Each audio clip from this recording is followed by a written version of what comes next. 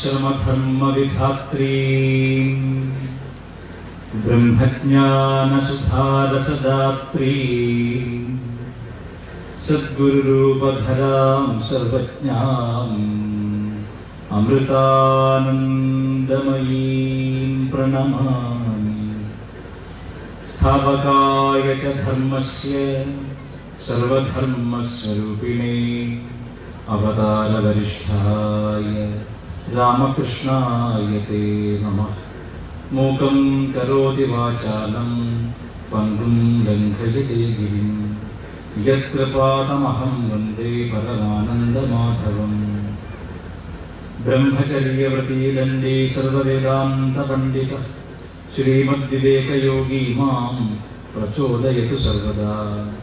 अपारसच्चित्सुखकारिराशेः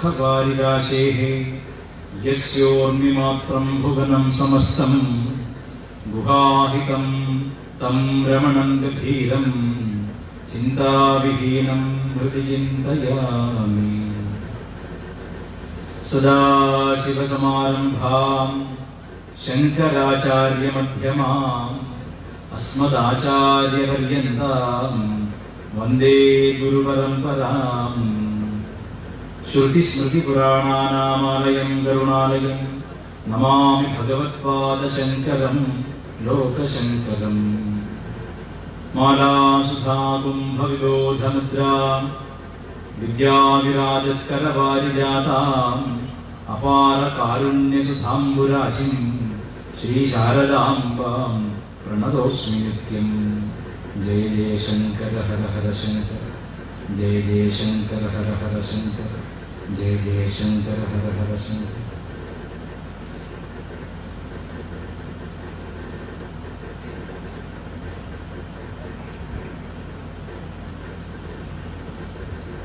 അഞ്ചക്കുളം ക്ഷേത്രത്തിന്റെ തിരുസന്നിധിയിലാണ് നമ്മളിരിക്കുന്നത് കേരളം നാമജപം കൊണ്ട് ഉഴുതുമറിക്കപ്പെട്ട ഏതാനും മാസങ്ങളാണ് കടന്നുപോയത്. നാമജപം എന്ന് പറഞ്ഞാൽ വളരെ ഏകാഗ്രതയോടുകൂടി ഇഷ്ടദേവത ഭജനം ചെയ്യുന്ന ഗൗരവത്തിൽ നമ്മൾ നമ്മുടെ എല്ലാം എല്ലാമായ ശ്രദ്ധാമൂർത്തിയായ അയ്യപ്പസ്വാമിയുടെ നാമം ഇടതടവില്ലാതെ ജപിച്ച ഒരു അർദ്ധവർഷമാണ് കടന്നത് സെപ്റ്റംബർ ഇരുപത്തെട്ട് രണ്ടായിരത്തി പതിനെട്ട് മുതൽ ഇന്നു വരെയുമുള്ള ഈ ദിവസങ്ങളിലെല്ലാം നമ്മുടെ ഹൃദയത്തിൽ ഒറ്റ ചിന്ത മാത്രമേ ഉള്ളൂ. ഇടയ്ക്കിടയ്ക്ക് നട തുറക്കുമ്പോൾ അവിടെ സ്വാമിയുടെ പരിപാവനമായ നൂറ്റാണ്ടുകൾ പഴക്കമുള്ള ആചരണത്തിന് ഭംഗം വരുന്ന വിധത്തിൽ യുവതികൾ അവിടെ പ്രവേശിക്കുമോ എന്നുള്ളതാണ്. ഈ ആശങ്ക ഒഴിയാറായിട്ടില്ല എന്നുള്ളത് കൊണ്ട് തന്നെ ഇതേപ്പറ്റി ജാഗ്രതയോടുകൂടി നാം ഇരിക്കേണ്ടതുണ്ട്. നമ്മെ സംബന്ധിച്ച് നമ്മുടെ അഭിമാനത്തിന്റെ നമ്മുടെ ധർമ്മ ജാഗ്രതയുടെ ഒക്കെ പ്രതീകമായിരുന്നു അല്ലെങ്കിൽ പ്രതീകമാണ് ശബരിമല പ്രക്ഷോഭം. വിശേഷിച്ച് ഏതെങ്കിലും ഒരു രാഷ്ട്രീയ പാർട്ടിയെ കുറ്റം പറയുകയോ എതിർപ്പ് പറയുകയോ ചെയ്യുകയല്ല. മറിച്ച് നമ്മുടെ ശ്രദ്ധയുടെ കുറവിനെയാണ് ഇത് കാണിക്കുന്നത്. പന്ത്രണ്ട് വർഷമായി സജീവമായി സുപ്രീം കോടതിയുടെ പരിഗണനയുള്ള ഒരു കേസായിരുന്നു ഇത്. അത് നമ്മിൽ പലർക്കും അറിയാമായിരുന്നു പക്ഷെ വേണ്ടും വിധം നാം പ്രതികരിച്ചില്ല. ഒരു കേസ് എവിടേക്ക് എത്തിച്ചേരും അതിന്റെ പരിണത ഫലമെന്തായിരിക്കും അതുകൊണ്ടൊരു ജനതയ്ക്ക് എന്തെല്ലാം കോട്ടം വരും? എന്നെല്ലാം ചിന്തിക്കാൻ ശേഷിയുള്ളവരെല്ലാം മൗനം പാലിച്ച പന്ത്രണ്ട് വർഷങ്ങളായിരുന്നു അവ. അതിലെടുത്തു പറയാവുന്ന ഒരു വലിയ അനുഗ്രഹം ശാസ്താവും ഭദ്രകാളിയും ആർക്ക് കുലദേവതകളാണോ ആ ഒരു വിഭാഗം അതായത് കേരളത്തിലെ നായർ സമുദായം. അവരുടെ എൻ എസ് എസ് ഈ കേസിന്റെ പിന്നാലെ രണ്ടായിരത്തി പതിനാല് തൊട്ടേ ഏതാണ്ട് അഞ്ചു വർഷത്തോളമായി ഇതിന്റെ പിന്നാലെ നിന്ന് ഏറ്റവും പ്രഗത്ഭനായ ഒരു വക്കീലിനെ വെച്ച് പണം ചെലവിട്ട് ശ്രദ്ധയോടെ ഈ കാര്യം ഇങ്ങനെയൊക്കെ ഉരുത്തിരിഞ്ഞ് വരാമെന്ന് മുൻകൂട്ടി കണ്ട് ദീർഘദർശിത്വത്തോടു കൂടി ഇടപെട്ടതുകൊണ്ടാണ് ഇത്രയെങ്കിലും നമുക്ക് കോടതിയിൽ നിന്ന് ഒരു പരിഗണനയെങ്കിലും ലഭിച്ചത്. പ്രത്യേകിച്ച് ഡിറക്ഷൻ ഒന്നും കൊടുക്കാതിരുന്നത് ഒരു പക്ഷെ അങ്ങനെ വാദിച്ചതുകൊണ്ടാണ്. വിശ്വാസത്തിന് വേണ്ടി നമ്മുടെ ആചരണങ്ങൾക്ക് വേണ്ടി നമ്മുടെ ക്ഷേത്രങ്ങൾക്ക് വേണ്ടി നാം ഒരിക്കൽ കണ്ണുനീരെങ്കിലും വിടാതിരുന്നവരാണ്. എത്രയോ ക്ഷേത്രങ്ങൾ സർക്കാർ പിടിച്ചടക്കിയിട്ടുണ്ട് പോലീസിന്റെ സംവിധാനം ഉപയോഗിച്ചിട്ട്. എത്രയോ ക്ഷേത്രങ്ങൾ രാജ്യ രാമായണം ദേവസ്വം ബോർഡിലേക്ക് കൂട്ടിച്ചേർക്കപ്പെട്ടിട്ടുണ്ട്. അപ്പോഴൊന്നും നാം അനങ്ങിയില്ല. നമ്മുടെ നമ്മുടെ അഭിമാനത്തിന്റെ നട്ടൽ ആത്മാഭിമാനത്തിന്റെ നട്ടല്ലായിരിക്കുന്ന ശബരിമലയിൽ തൊടുന്നത് എന്തുകൊണ്ടായിരിക്കാം നമുക്ക് ഇത്രയ്ക്കും ഒരു പ്രമാദം ഈ കാര്യങ്ങളൊക്കെ വരാൻ കാരണം. ഞാൻ വിശേഷിച്ച് ഇന്നാട്ടിലെ ഹിന്ദു അമ്മമാരോടാണ് ചോദിക്കുന്നത്. ഒരമ്മ എന്ന് പറഞ്ഞാൽ ഹിന്ദു ധർമ്മത്തിൽ കേവലം വിവാഹം ചെയ്ത് പതിയുമായി ഇണചേർന്ന് പുത്രോത്പാദനം നടത്തുക എന്നിടത്ത് തീരുന്നില്ല. മറിച്ച് ഹിന്ദു മാതാവ് വീരപ്രസവിനിയാണ് അവൾ വേണ്ടുന്ന ധർമ്മത്തെ സംസ്കാരത്തെ കൂടെ മുലപ്പാലിനോടൊപ്പം മക്കൾക്ക് പകർന്നു കൊടുക്കാൻ ബാധ്യസ്ഥയാണ്. അത് മറന്നു പോകുമ്പോഴാണ് നമ്മുടെ കുഞ്ഞുങ്ങൾ അലസരാകുന്നത്. നമ്മുടെ കുഞ്ഞുങ്ങൾ കേവലം ഭൗതികമായ ഭ്രമങ്ങളിൽ മാത്രം ചിന്തിച്ച് ദീർഘവീക്ഷണമില്ലാതെ നശിച്ചു പോകുന്നു. ഒരു വീട്ടിൽ നിരീശ്വരവാദിയായ നാസ്തികനായ ഒരു പുത്രൻ ഉണ്ടാവുന്നതിലും നല്ലതാണ് പുത്രനില്ലാത്തത് എന്ന് നമുക്ക് തോന്നിപ്പോകും. എന്താ കാരണം? നാസ്തികന് എക്സിസ്റ്റൻസിൽ അല്ലെങ്കിൽ ഉണ്മയിൽ വിശ്വാസമില്ലാതാവുകയാണ്. ഇതേപ്പറ്റി ഏറ്റവും മനോഹരമായിട്ട് നാസ്തികതയെ ഏറ്റവും മനോഹരമായി വിമർശിച്ചിട്ടുള്ളത് നമ്മുടെ കേരളത്തിന്റെ അഭിമാനമായ ലോകത്തിന്റെ അമ്മയായ മാതാ അമൃതാനന്ദമയി ദേവിയാണ്. അമ്മ പറഞ്ഞു സ്വന്തം നാവുകൊണ്ട് നാവില്ല എന്ന് പറയുന്നത് പോലെയാണ് ഈശ്വരനില്ല എന്ന് പറയുന്നത്. കാരണം കാരണം ആരാണ് ഈശ്വരൻ? നമ്മുടെ അന്തരാത്മാവ് തന്നെ. നമുക്ക് നമ്മുടെ അസ്തിത്വം നിഷേധിക്കാനാവുമെങ്കിൽ മാത്രമേ ഈശ്വര നിഷേധം ചെയ്യാനാവൂ. അപ്പോ നിരീശ്വരവാദിയാണ് ഞാൻ നാസ്തികനാണ് ഞാൻ എന്ന് ആരെങ്കിലും അഭിമാനം കൊള്ളുന്നുണ്ടോ? അതിന്റെ അർത്ഥം അവന് ആസ്തിക്യ ബോധമില്ല he doesn't believe in himself അതുകൊണ്ടാണ് വിശ്വ പ്രസിദ്ധനായ യുവ യോഗിയായിരുന്ന ഭാരതത്തിന്റെ എക്കാലത്തെയും ഏറ്റവും മികച്ച ആധ്യാത്മിക പ്രവാചകന്മാരിൽ ഒരാളായിരുന്ന സ്വാമി വിവേകാനന്ദൻ യൂറോപ്പിൽ വെച്ച് പറഞ്ഞത് he is an atheist who does not believe in himself അവനവനിൽ വിശ്വാസമില്ലാത്തവൻ മാത്രമാണ് ഒരു നാസ്തികൻ യുക്തിവാദി അല്ലെങ്കിൽ യുക്തിവാദി എന്ന പദത്തേക്കാൾ നാസ്തികൻ അല്ലെങ്കിൽ നിരീശ്വരവാദി. ആർക്കേ നിരീശ്വരവാദിയാവാൻ സാധിക്കും? അവനവനിൽ വിശ്വാസമുള്ളവർ ഇല്ലാത്തവർ മാത്രമേ നാസ്തികനാവാനും നിരീശ്വരവാദിയാകാനും സാധിക്കും. കാരണം ആസ്തിക്യ ബുദ്ധി എന്നത് എനിക്ക് ഞാനുണ്ട് എന്ന ബോധ്യമാണ്. മരണത്തോടുകൂടി എന്നിൽ നിന്ന് എന്താണ് എടുത്തു മാറ്റപ്പെടുന്നത് എന്നതിനെ കുറിച്ചുള്ള ബോധ്യമാണ്. എന്താണ് ജീവനും മരണം എന്നുള്ള വ്യത്യാസം?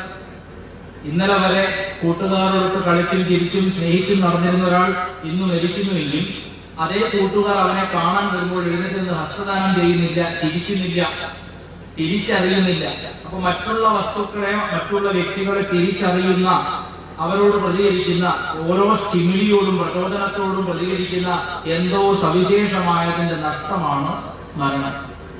ആ സവിശേഷമായത് എന്താണ് അത് നമ്മുടെ അസ്തിത്വമാണ്. ഈ അസ്തിത്വത്തെ ശിവമെന്നും ആത്മാവെന്നും ഈശ്വരനെന്നും ചൈതന്യമെന്നും ബോധമെന്നും പല പേരിൽ വിളിക്കുന്നു.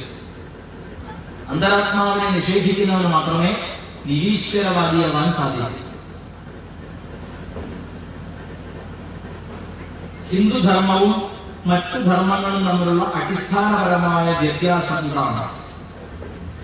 അന്യ മതങ്ങളിൽ ആകാശത്തിനപ്പുറത്ത് ഏഴാം സ്വർഗത്തിൽ സിംഹാസനസ്ഥനായിരിക്കുന്ന സ്വർഗസ്ഥനായിരിക്കുന്ന സ്വർഗം എന്ന ഒരു വിശിഷ്ട പ്രദേശത്തെ ഒക്യുപ്പൈ ചെയ്യുന്ന ഒരു എന്റിറ്റിയുടെ പേരാണ് ദൈവം. ആ ദൈവം ഒരു പ്രത്യേക ദിവസം സൃഷ്ടി തുടങ്ങുകയും മനുഷ്യനെ ഉണ്ടാക്കുകയും അവനിലേക്ക് ശ്വാസമൂതുകയും ചെയ്തുവെന്നും മനുഷ്യൻ ചെയ്യുന്ന തെറ്റുകൾക്ക് കഠിനമായ ശിക്ഷ നൽകാൻ വേണ്ടി ദൈവമിരിക്കുന്ന സിംഹാസനത്തിന്റെ ഇടതുഭാഗത്ത് അവിശ്വാസികളെയും വലതുഭാഗത്ത് വിശ്വാസികളെയും ഇരുത്തി അവരുടെ ചാർട്ട് പരിശോധിച്ച ശേഷം അവിശ്വാസികളെ നരകത്തിലേക്കും വിശ്വാസികളെ സ്വർഗത്തിലേക്കും വിടുന്ന ഒരു ഏർപ്പാടാണ് അന്യധർമ്മങ്ങളിൽ മതം എന്നത് അല്ലെങ്കിൽ ദൈവവിശ്വാസം ഹിന്ദുധർമ്മത്തിലോ വളരെ ലളിതമായിട്ട് കേരളീയനായ ഋഷീശ്വരൻ നാരായണ ഗുരുദേവൻ പറഞ്ഞു തന്നു അവനവൻ ആത്മസുഖത്തിനായി ആചരിപ്പവ അപരന് സുഖത്തിനായി അറിയണം. അവനവന്റെ സുഖത്തിന് വേണ്ടി ഉച്ചരിക്കുന്ന വാക്ക് ചെയ്യുന്ന പ്രവൃത്തി ചിന്ത ഇതെല്ലാം മറ്റുള്ളവർക്ക് കൂടെ ഗുണത്തിനായി വരയണം എന്ന് സങ്കല്പിക്കുന്നു നാരായണ ഗുരുദേവൻ. വിവേകാനന്ദ സ്വാമികൾ ഇതിനെ മനോഹരമായിട്ട് ആംഗലേയത്തിൽ പറയുന്നു. Be good do good this is the gist of religion നന്നാവുക നല്ലത് ചെയ്യുക. ഇതാണ് മതത്തിന്റെ സാരം വിവേകാനന്ദ സ്വാമികൾ പറയാം ഹിന്ദു ധർമ്മത്തിന്റെ സാരം എന്താണ്? ബി ഗുഡ് സ്വയം നന്നാവുക മറ്റുള്ളവർക്ക് നല്ലത് മാത്രം ചെയ്യുക. ഇങ്ങനെ. ഇതേ കാര്യത്തെ തന്നെയാണ് നാരായണ ഗുരുദേവൻ പറഞ്ഞത്. അവനവൻ ആത്മസുഖത്തിനായി ആചരിപ്പവ അവരന്നു സുഖത്തിനായി വരിക. ശ്രീരാമകൃഷ്ണ പരമഹംസന്റെ ശിഷ്യനായിരുന്ന വിവേകാനന്ദ സ്വാമികൾ അദ്ദേഹത്തിന്റെ കൂട്ടാളികളുമൊത്ത് ഒരു മഠം സ്ഥാപിച്ചപ്പോൾ ശ്രീരാമകൃഷ്ണ മഠം എന്നതിന് പേരിട്ടു. അതിന്റെ ആപ്തവാക്യമായി തെരഞ്ഞെടുത്തത് ആത്മനോ മോക്ഷാർത്ഥം ജഗദ്ധികായ എന്നാണ്.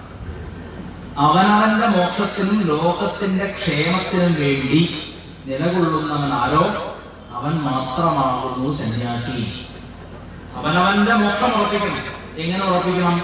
സത്കർമ്മങ്ങളിലൂടെ പുണ്യകർമ്മങ്ങളിലൂടെ ജ്ഞാനവിചാരത്തിലൂടെ ഗീത തുടങ്ങിയ സദ്ഗ്രന്ഥങ്ങളെ പഠിക്കുന്നതിലൂടെ ജപം ചെയ്യുന്നതിലൂടെ മറ്റുള്ളവരെ സേവിക്കുന്നതിലൂടെ എല്ലാം അവനവന്റെ മോക്ഷം ഉറപ്പാക്കണം. അത് മറ്റുള്ളവർക്കും ഗുണത്തിനായി വരികയാണ് ഒരു രാജാവ് രണ്ട് ചിത്രകാരന്മാരോട് കണ്ടാൽ തന്നെ ശാന്തി ഉണ്ടാവുന്ന ചിത്രം വരയ്ക്കാൻ പറഞ്ഞു.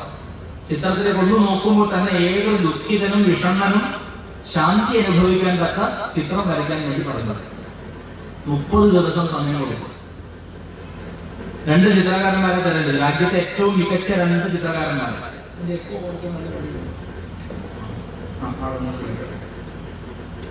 അവരെന്ത് ചെയ്തു? മുപ്പത്തി ഒന്നാമത്തെ ദിവസം ചിത്രം വരച്ച് കൊണ്ടു കൊടുക്കും ചിത്രം ഇങ്ങനെ അൺവെയിൽ ചെയ്യുമ്പോൾ അതായത് അനാച്ഛാദനം ചെയ്യുന്ന സമയത്ത് ആദ്യത്തെ ചിത്രകാരൻ വരച്ച ചിത്രം മനോഹരമായ പ്രശാന്തമായ ഹിമാലയ ശാലുക്കളിൽ അനേകം അനേകം മനോഹര പുഷ്പങ്ങളിൽ നിറഞ്ഞു നിൽക്കുന്ന ഒരു പുഷ്പവാടിക്കടുത്ത് ഒരു നദി ഒഴുകുന്നതിന്റെ തീരത്ത് ഇങ്ങനെ ശാന്തമായ ഒരു ഋഷി ധ്യാനിച്ചിരിക്കുന്ന ചിത്രം.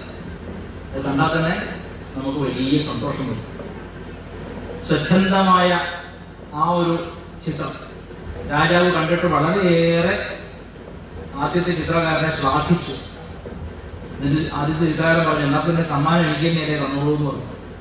ഉടനെ പറഞ്ഞ പറഞ്ഞു രണ്ടാമത്തെ ചിത്രം കൂടി വരട്ടെ എന്ന് പറഞ്ഞു. അങ്ങനെ രണ്ടാമത്തെ ചിത്രം കൊണ്ടുവരപ്പെട്ടു രണ്ടാമത്തെ ചിത്രകാരൻ വന്നു. രണ്ടാമത്തെ ചിത്രം ഇറ്റ്സ് എ പാരഡോക്സിക്കൽ ഫിക്ഷൻ ഒരു വൈരുദ്ധ്യാത്മകമായ ചിത്രമാണ്. ചിത്രം അനാച്ഛാദനം ചെയ്ത് കാണുന്നത് കാറ്റ് അതിവേഗത്തിൽ വീശുന്നു ചുറ്റും.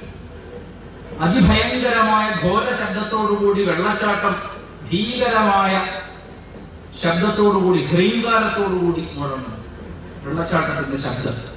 തൊട്ടടുത്ത് ദുർബലമായ ഒരു മരത്തിന്റെ ഏറ്റവും ദുർബലമായ ഒരു ചുള്ളിക്കമ്പിന്മേൽ ഒരു കുഞ്ഞിക്കിളി ശാന്തമായി കണ്ണടച്ചിരിക്കുന്നു. രാജാവ് പറഞ്ഞു ഈ ചിത്രത്തിലാണ് ഞാൻ സമ്മാനം കൊടുക്കാൻ പോകുന്നത്. അപ്പൊ ആദ്യത്തെ ആൾ പറഞ്ഞു മഹാരാജൻ അങ്ങ് പറയുന്നത് അന്യായമല്ല. ഈ ചിത്രത്തിൽ എവിടെയാണ് ശാന്തിയുള്ളത്? ചുറ്റും ബഹളം കൊടുങ്കാറ്റ് ഇലകൾ വാറിപ്പറക്കുന്നു വെള്ളച്ചാട്ടം ഭീകരമായ വെള്ളച്ചാട്ടം. ഇതിലെന്താണ് ഒരു സുരക്ഷയുള്ളത്? ഇതിലെന്ത് ശാന്തിയുണ്ട്? എന്ന് ആദ്യത്തെ ചിത്രകാരൻ ചോദ്യം ചെയ്യും. ഉടനെ രാജാവ് പറഞ്ഞു പ്രശാന്തമായ ഹിമാലയ സാനുക്കളിൽ ഒരുവൻ ഇരിക്കുമ്പോൾ എത്ര തെമ്മാടിയാണെങ്കിലും എത്ര തോന്നിവാസിയാണെങ്കിലും എത്ര ക്രൂരനാണെങ്കിലും അവനൊരല്പം ശാന്തി അനുഭവിക്കും. കാരണം ആ സാഹചര്യം അങ്ങനെയുള്ളതാണ്. പരിസ്ഥിതി അങ്ങനെയുള്ളതാണ്. പരിതസ്ഥിതിയും അങ്ങനെ തന്നെ. അതേ സമയത്ത് ചുറ്റിലും മരണഭയം ചൂടുന്നു നിൽക്കുമ്പോഴും എപ്പോൾ വേണമെങ്കിലും മരം കടവഴി വീഴാവുന്ന അവസ്ഥയിലും എപ്പോൾ വേണമെങ്കിലും ചുള്ളിക്കമ്പ് പൊട്ടി വീഴാമെന്ന അവസ്ഥയിലും കാറ്റ് വീശി തന്റെ ജീവൻ എടുത്തേക്കാമെന്ന അവസ്ഥയിൽ പോലും ആ കിളി അനുഭവിക്കുന്ന പ്രശാന്തിയാണ് യഥാർത്ഥ പ്രശാന്തി. ഈ ലോകം എന്ന് പറഞ്ഞാൽ നമുക്ക് അനുകൂലമായ പരിതസ്ഥിതിയും പരിസ്ഥിതിയും ഉണ്ടാവുക വളരെ ദുർബല ദുർലഭമായ നിമിഷങ്ങളിലാണ്. വളരെ ദുർലഭമായ നിമിഷങ്ങളിലാണ്. മിക്കവാറും നമ്മെ എതിർക്കുന്നവരുടെ വാക്ശരങ്ങളോ പ്രവൃത്തികളോ കുടുംബത്തിലെ അസ്വസ്ഥതയോ കടം വീട്ടാനുള്ള ചിന്തയോ വേദനിപ്പിക്കുന്ന കുത്തുവാക്കുകളോ ഒക്കെയാവും നമ്മളെ ചൂടുന്നു നിൽക്കുക. കൊടുങ്കാറ്റ് പോലെ വെള്ളച്ചാട്ടം പോലെ ഇടിമിന്നൽ പോലെ നമ്മുടെ ചുറ്റും വ്യക്തികളുടെ വ്യക്തികൾ സൃഷ്ടിക്കുന്ന ദുസ്ഥിതികളാണ് ചുറ്റുമുണ്ടാവുക പരിസ്ഥിതി നൂറ് ശതമാനം പ്രതികൂലമായ അവസ്ഥയിൽ ജീവിക്കുന്നവരുണ്ട്. ആ സമയത്ത് പോലും നമുക്ക് നമ്മുടെ ഉള്ളിന്റെ ഉള്ളിൽ ഒരു ഇടം പ്രശാന്തമായി ഉണ്ടെങ്കിൽ ഈ ബാഹ്യമായ സാഹചര്യങ്ങളെല്ലാം അങ്ങനെ ഉണ്ടെങ്കിൽ പോലും നമ്മുടെ ഉള്ളിന്റെ ഉള്ളിലുള്ള ആ ശാന്തതയെ ഭഞ്ജിക്കാനായിട്ട് പൊട്ടിച്ചു കളയാനായിട്ട് ഒന്നിനും സാധിക്കുന്നില്ലെങ്കിൽ അതാണ് മതം എന്നതിന്റെ ലക്ഷ്യം. അപ്പൊ ചുരുക്കി പറഞ്ഞാൽ മോക്ഷം കിട്ടുക എന്ന് പറഞ്ഞാൽ മരിച്ചു പോകാൻ അർത്ഥമില്ല. മോക്ഷം കിട്ടുക എന്ന് പറഞ്ഞാൽ പെട്ടെന്ന് തൃക്കണ്ണ് തുറന്ന് ഇവിടെ പൊട്ടിത്തകരുക എന്ന് അർത്ഥമില്ല. മോക്ഷം കിട്ടുക എന്ന് പറഞ്ഞാൽ കൊമ്പും മുളയ്ക്കുന്ന അർത്ഥമില്ല. മോക്ഷം എന്ന് പറഞ്ഞാൽ അവിഛിന്നമായ പ്രശാന്തിയാണ്. Even at the most adverse situations if your mind can relax and be in the present that is called emancipation. ഏറ്റവും പ്രതികൂലമായ സാഹചര്യങ്ങളിൽ പോലും നിങ്ങളുടെ മനസ്സിന് നിങ്ങളുടെ പൂർണമായ നിയന്ത്രണത്തിൽ നിൽക്കാനും ഈ നിമിഷത്തെ ആസ്വദിക്കാനും പറ്റുന്നുവെങ്കിൽ നിങ്ങൾ മുക്തനാണ്. അല്ലെങ്കിൽ അല്ല അല്ലെങ്കിൽ അല്ല അതുകൊണ്ട് തന്ത്രശാസ്ത്രത്തിൽ ശ്രീ പരമേശ്വരൻ ഒരു പര്യായമുണ്ട്. അക്ഷോഭ്യൻ എന്താ പേര്? അക്ഷോഭ്യൻ. ആരാണ് അക്ഷോഭ്യൻ? എന്ത് സംഭവിച്ചാലും അദ്ദേഹത്തിന് ഇളക്കമില്ല. പണ്ട് നമ്മുടെ നാട്ടിൽ ഒരു ചൊല്ലുണ്ട്. ഈ നാട്ടിൽ ആ ചൊല്ലുണ്ടെന്ന് എനിക്കറിയാം. പാലം കുലുങ്ങിയാലും കേളം കുലുങ്ങില്ല പാലം ഇങ്ങനെ കാട്ടി ഉലഞ്ഞാലും കേളം സ്വന്തം കാലിൽ ഉറച്ചു ഇത് തന്നെയാണ് ആധ്യാത്മികതയുടെ ഒരു ചെറിയ ചിത്രം ഒരു മിനിയേച്ചർ ശ്രീ പരമേശ്വരനെ എപ്പോഴും നമ്മൾ വരയ്ക്കുമ്പോൾ ശ്രീ പരമേശ്വരനെ നമ്മൾ എപ്പോഴും വരയ്ക്കുമ്പോൾ അത് മൊത്തത്തിലൊരു പാരഡോക്സ് ആണ് ചിത്രം. നമ്മൾ കണ്ടാൽ പേടിച്ച് ഓടുന്ന വസ്തുക്കൾ ജീവികളോടൊപ്പമാണ് ശാന്തമായി ധ്യാനിക്കുന്നത്. കരിനാഗം നമ്മൾ നടക്കുന്ന വഴിയിൽ ഒരു കയറ് കണ്ടാൽ നമ്മൾ പേടിക്കണ്ടേ? നടക്കുന്ന വഴിയിൽ വെളിച്ചമില്ല ഒരു കയറാണ് കിടക്കുന്ന വെച്ചാൽ പേടിച്ച് അമ്മയും വിളിക്കും. കാരണം അത് പാമ്പാണെന്ന് തെറ്റിദ്ധരിക്കും ഇല്ലേ? അതേ സമയത്ത് ശ്രീ പരമേശ്വരൻ എന്താ ചെയ്യുന്നത്? ആ കരിനാഗത്തെ എടുത്ത് കഴുത്തിലണിയുന്നു തോൾവളയാക്കുന്നു വളയാക്കുന്നു തളയാക്കുന്നു. ഭയം എന്നതില്ല വിശേഷം ഭയമില്ല. നിർഭയനാണ് ശിവൻ. മാത്രമല്ല എവിടെയാണ് ഇരിക്കുന്നത്? ആരും പോകാൻ ഇഷ്ടപ്പെടാത്ത അഥവാ ബന്ധുക്കൾക്ക് വേണ്ടി പോയെങ്കിൽ പെട്ടെന്ന് നിഷ്ക്രമിക്കാൻ പുറത്തേക്ക് ഓടാൻ ആഗ്രഹിക്കുന്ന ഇടം ഏതാണ്? ശ്മശാനം. അതുവരെ അച്ഛനായിരുന്നു മുത്തച്ഛനായിരുന്നു അമ്മായിയായിരുന്നു അമ്മാവനായിരുന്നു. മരിച്ചാൽ പിന്നെ ശവം. ഞാൻ കോഴിക്കോട് ജില്ലയിൽ ഒരു വീട്ടിൽ ഒരു സ്ത്രീയുടെ ഭർത്താവ് മരിച്ചപ്പോ കാണാൻ വേണ്ടി പോയി. പോയ സമയത്ത് സ്ത്രീയെ ആ അവരുടെ പത്നിയെ കാണുന്നില്ല വിധവയെ കാണുന്നില്ല. നോക്കുമ്പോ ശവത്തിൽ കെട്ടിപ്പിടിച്ച് കരയാണ് അവർ കോഴിക്കോട് ജില്ലയിലെ ചില ആളുകളുടെ ഇങ്ങനെ ഒരു ആചാരമുണ്ട്. ഇവിടെ ഉണ്ടോ? ഉണ്ടോ നല്ല അടി കൊടുക്കണം. എന്താ ഞാൻ കാര്യം പറഞ്ഞത്.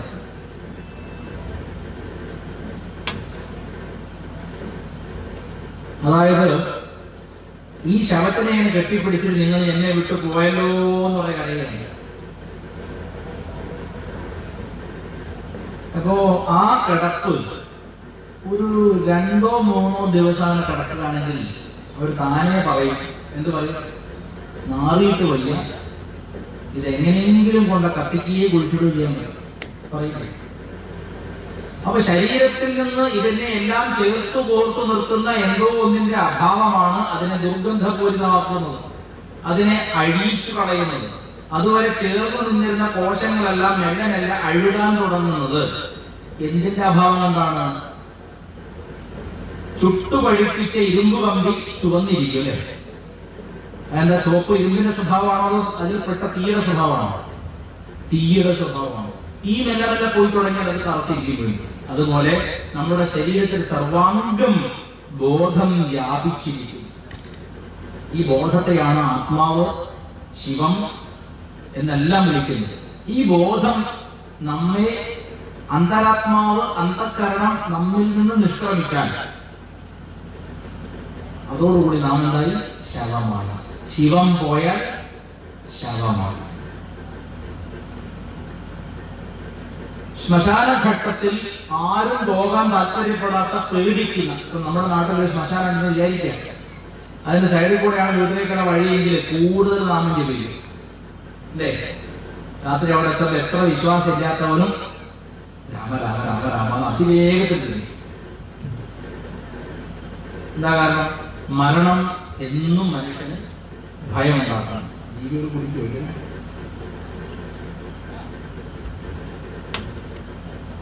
ഇപ്പൊ മരണം നൃത്തം ചവിട്ടുന്ന ഡാൻസ് മക്കാബ്രേ മരണം നൃത്തം ചവിട്ടുന്ന ശ്മശാന ഭൂമിയിൽ വളരെ സന്തോഷത്തോടു കൂടി താമസിക്കുന്ന ആളാണ്? പരമശിവൻ എന്തിനാണ് ഇതൊക്കെ പ്രതീകങ്ങളാണ്? ഈ പ്രതീകങ്ങൾ എന്തിനാണ്? നമ്മെ ജീവിതത്തിന്റെ സാരവത്തായ മൂല്യവത്തായ പാഠങ്ങൾ പഠിപ്പിച്ച് ഉയർത്താനും നമ്മെ സ്വയം മോക്ഷത്തിലേക്ക് ഉയർത്താനും സ്വയം ശിവനായി തീരാനുമാണ് ജപിക്കുന്നത്. അത് അത് പഠിപ്പിക്കുന്ന ചിത്രങ്ങളാണ് ഇതൊക്കെ. ശ്മശാനഘട്ടത്തിൽ ആരും താമസിക്കാൻ ഇഷ്ടപ്പെടുന്നില്ല. ദീർഘ വിരുദ്ധമായ പ്രകൃതിയാണ്. അവിടെ പോയിരിക്കുക. ഏറ്റവും പേടിക്കുന്ന പേടിപ്പെടുത്തുന്ന കരിനാഗത്തെ അണിയുന്നു സർപ്പത്തെ അണിയുന്നു ശിരസിലും കുടുമയിലും ഒക്കെ അണിയുന്നു. ശവം കത്തിച്ച് ബാക്കിയായിരിക്കുന്ന ശ്മശാന ഭക്ഷണത്തെ എടുത്ത് മേലാകെ പൂശുന്നു. നമ്മൾ പൗഡറൊക്കെ ഇടുന്ന സമയത്ത് അല്ലേ നമ്മൾ സിന്തോൾ പിന്നെ എന്തൊക്കെ ഉണ്ടല്ലോ ഡെറ്റോൾ ലൈഫ് ബോയ് ഇങ്ങനെ എല്ലാ സാധനവും തേച്ച് വൃത്തിയാക്കി നമ്മൾ സുഗന്ധദ്രവ്യങ്ങൾ പൂശുമ്പോൾ ഭഗവാൻ പരമേശ്വരൻ ചെയ്യുന്നതാണ് ഒരു ജീവൻ ഇതിന്റെ കൂട് കത്തിച്ചത് എടുത്ത് കത്തിക്കുകയാണ് ജീവൻ കൂട് ശരീരം. ശരീരം കത്തിച്ച് ഭസ്മമായി. ഭസ്മാന്തം ശരീരം. ആ ഭസ്മത്തെ നേരാകെ പൂശും. ചിര എരിയുന്ന ചിതയെ വെളിച്ചമാക്കുന്നു. ശ്മശാനത്തിന് വെളിച്ചം എന്ത് മാത്രമാണ്?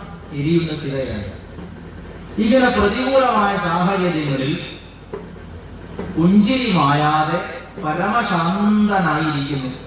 മംഗളസ്വരൂപനായി ശിവൻ ഇതുപോലെ ആയിരിക്കണം നമ്മുടെയും ജീവിതയാത്ര. പ്രതികൂല സാഹചര്യങ്ങൾ വരും പരിതസ്ഥിതികൾ മാറും ഇണങ്ങിയവർ പിണങ്ങാം പിണങ്ങിയവർ പിണങ്ങാം. അതൊന്നും ബാധിക്കരുത്.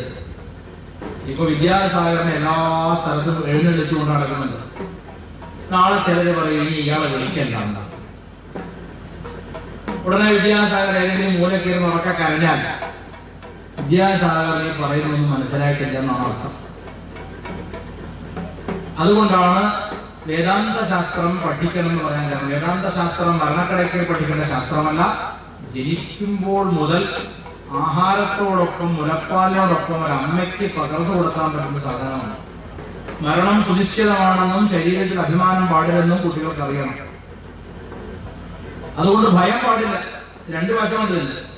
മരണം സുനിശ്ചിതമാണ് ശരീരത്തിൽ അഭിമാനം പാടില്ല എന്നുള്ളത് കൊണ്ട് കളിക്കാൻ പോലും വിടാതെ മണ്ണ് വാരാൻ വിടാതെ മാങ്ങിക്കെറിയാൻ വിടാതെ കുട്ടികളെ വളർത്തരുത്. ഈ ശരീരം പോയാൽ എന്ത് അടുത്ത ശരീരം വന്നോളൂ ഒട്ടും പേടിക്കരുത്. മരണം എന്ന് പറഞ്ഞാൽ ഒരു ഫുൾ സ്റ്റോപ്പ് അല്ല. ഒരു മുറിക്കകത്തുനിന്ന് മറ്റൊരു മുറിയിലേക്ക് കടക്കുന്ന പോലെ ലാഘവത്തോടുകൂടി പോയി വരാൻ പറ്റണം. എന്റെ ഒരു സുഹൃത്തിന് എല്ലാ മാസവും വിദേശത്ത് വലിയൊരു ബിസിനസ്സുകാരൻ എല്ലാ മാസവും പോയി വരും രണ്ടും മൂന്നും തവണ പോയി വരും വിദേശത്ത്. നമുക്കത് എളുപ്പം സാധിക്കില്ല. അതുപോലെ ഇതൊരു പോക്കുവരവാണ്. ഇത് അനിത്യവുമാണ്. ആഗമാപായിന അനിത്യ. അതുപോലെ ജീവിതത്തിൽ ഏത് ദുഃഖം വന്നാലും അവനവന്റെ ഉള്ളിൽ ഒരു കിണർ കുഴിച്ചു വെക്കണം. അവനവന്റെ ദാഹം മാറ്റാം. അതെന്ത് ചെയ്യണം? കൊച്ചു നാളിലെ കുഞ്ഞുങ്ങളെ കൊണ്ട് ഉറച്ച് ഉറക്കെ നാമം ജപിപ്പിക്കണം. എന്ത് നാമം ജപിക്കണം? കുഞ്ഞുങ്ങളടക്കം വീട്ടിൽ എല്ലാവരും രാമനാമം ജപിക്കണം. എന്താ രാമനാമത്തിന്റെ പ്രത്യേകത? എളുപ്പം ജപിക്കാം കൃഷ്ണ എന്ന് പറയാൻ ബുദ്ധിമുട്ടില്ല. രാമ. രാമ രാമ രാമ രാമ രാമ രാമ പാഹിമ പണ്ട് മുത്തശ്ശിവാരി വീട്ടിൽ അത് തന്നെ.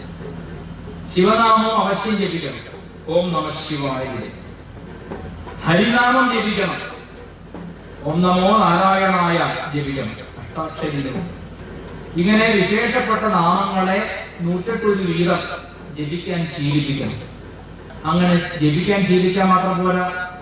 കുഞ്ഞുങ്ങളെ കൊണ്ട് ഒരു പ്രായം കഴിഞ്ഞാൽ പന്ത്രണ്ട് വയസ്സ് കഴിഞ്ഞാൽ അവർ കഴിക്കുന്ന പ്ലേറ്റ്. നിലയിലല്ലോ കഴിക്കുക. പ്ലേറ്റ്. അത് സ്വയം കഴുകാൻ പഠിപ്പിക്കണം. അവനവന്റെ എച്ചിൽ അമ്മയെ കൊണ്ടോ ജ്യേഷ്ഠത്തെ കൊണ്ടോ കഴുകിപ്പിക്കരുത്. കൊച്ചു കുഞ്ഞുങ്ങളെ പന്ത്രണ്ട് വയസ്സ് കഴിഞ്ഞാൽ പിന്നെ ഇളവ് നിർത്തിക്കൊള്ളണം ഈ കൺസെൻട്രേഷൻ കുറയ്ക്കാൻ അവർ സ്വയം പാത്രം കഴുകാനും വസ്ത്രം അലക്കാനൊക്കെ പഠിക്കണം അങ്ങനെ ചെയ്തോളൂ. അത് വലിയ ഗുണമുണ്ട്. കുട്ടികൾ കുറെ കൂടെ ധൈര്യശാലികളായി വളരും. പരിതസ്ഥിതിയെ മാറ്റാൻ ശ്രമിച്ചു ശ്രമിച്ചു മനുഷ്യൻ കുടുക്കത്തിൽ പോയിട്ട് ആളുകളുണ്ട് എല്ലാ സാധനങ്ങളും ഒരു സ്ഥലത്ത് വാങ്ങാൻ കിട്ടുക എന്നുള്ളതാണ് മനുഷ്യന്റെ ഇപ്പോഴത്തെ ഏറ്റവും വലിയ ആവശ്യം. പണ്ട് എങ്ങനെയാണ് അങ്ങാടിയിലേക്ക് പോവുക? ഒരു സഞ്ജീവമായിട്ട് പോകും ചന്തയിൽ പലയിടത്തും പോയി വില പേശിയിട്ട് ഏറ്റവും വിലക്കുറവ് അവിടുന്ന് ഓരോന്ന് വാങ്ങാം പച്ചക്കറി ഒരിടത്തുനിന്ന് അപ്പുറത്ത് പോയിട്ട് പാത്രം ഒരിടത്തുനിന്ന് മൺപാത്രം വേറെടുത്തുനിന്ന് മത്സ്യം വാങ്ങുന്നവരാണെങ്കിൽ അത് വേറെടുത്തുനിന്ന് ഇങ്ങനെ എല്ലാം മാറി മാറി വാങ്ങി വാങ്ങി വില പേശി പേശി അങ്ങാടിയിൽ പോയി ചുറ്റിത്തിരിഞ്ഞാൽ നിങ്ങൾ എറണാകുളത്ത് പോയിട്ട് ലുലു മാളിൽ പോകും അല്ലേ? ഈശ്വരനെ ഒഴിച്ച് ബാക്കി എന്തും കിട്ടുന്നുള്ള അവസ്ഥയാണ്.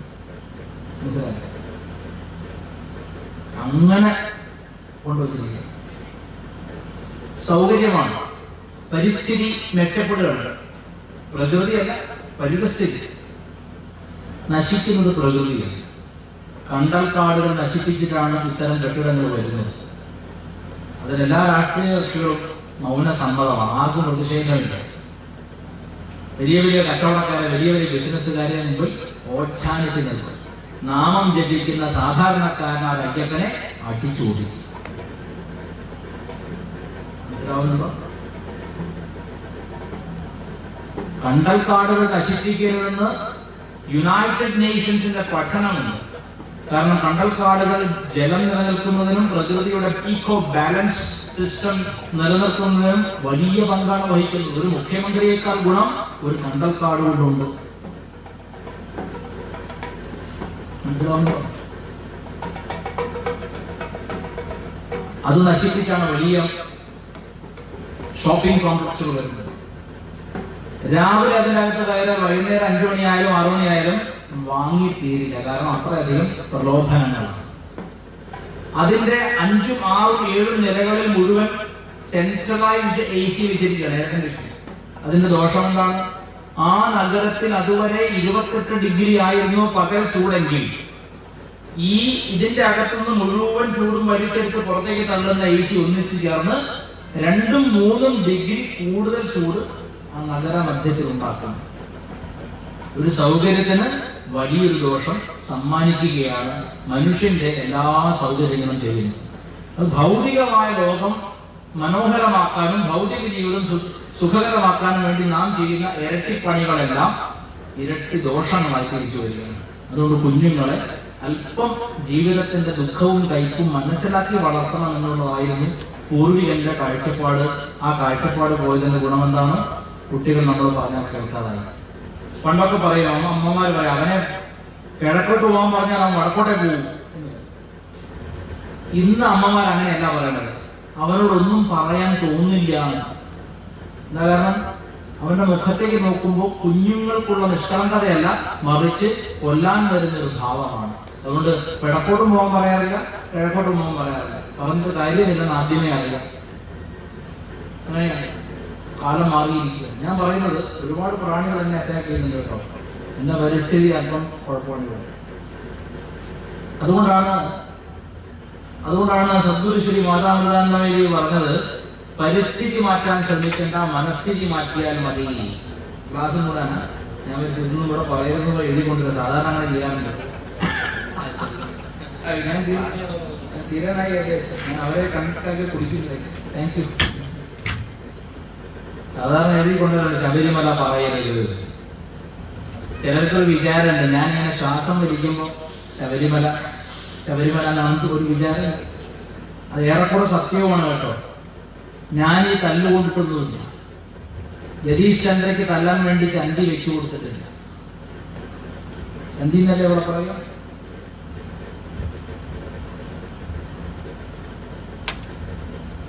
ലോകത്ത് ഏത് വിപ്ലവം ഉണ്ടായിട്ടുണ്ടെങ്കിലും ലോകത്ത് ഏത് നവോത്ഥാനം ഉണ്ടായിട്ടുണ്ടെങ്കിലും ലോകത്ത് ഏത് വലിയ സമരം ഉണ്ടായിട്ടുണ്ടെങ്കിലും ആ സമരങ്ങളുടെ എല്ലാം പിന്നിൽ.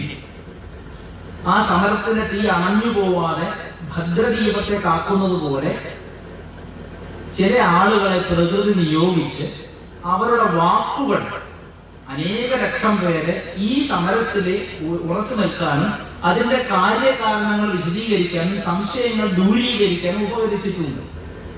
ഫ്രഞ്ച് വിപ്ലവം എടുത്തു കഴിഞ്ഞാൽ റൂസോയുടെ എഴുത്തൊക്കെയാണ് അവിടെ വലിയ എൻലൈറ്റൻമെന്റ് എന്ന് പറയുന്നത്. വലിയ വലിയ മാറ്റമാണ് റൂസോയുടെ എഴുത്താണ്. റൂസോയോട് ഫ്രഞ്ച് വിപ്ലവത്തിൽ പങ്കെടുത്ത് കാലിൽ പൈപ്പ് പറ്റിയ ഒരു ഭടൻ ചോദിക്കുകയാണ് നിങ്ങളുടെ പേരെന്താണ്? എന്റെ പേര് റൂസോ. നിങ്ങൾ എവിടെയോ കേട്ടിട്ടുണ്ടല്ലോ. അത് ഈ ഫ്രഞ്ച് വിപ്ലവവുമായി ബന്ധപ്പെട്ടായിരിക്കും കേട്ടിട്ടുണ്ടാവും എന്ന് റൂസോ മറുപടി പറഞ്ഞു. ഉടനെ സമരഭടൻ ചോദിക്കുകയാണ് ഓ നിങ്ങളാണ് ആ സുഖിമാൻ അല്ലേ ഏതോ മുറിക്കകത്തിരുന്ന് എന്തോ കുത്തിക്കുറിച്ചിട്ട് ഫ്രഞ്ച് വിപ്ലവം ഉണ്ടാക്കിയ നിങ്ങളാണെന്ന് പറയുന്നത് നിങ്ങളാണല്ലേ? റൂസോ ഞാൻ അങ്ങനെ പറഞ്ഞിട്ടില്ലേ?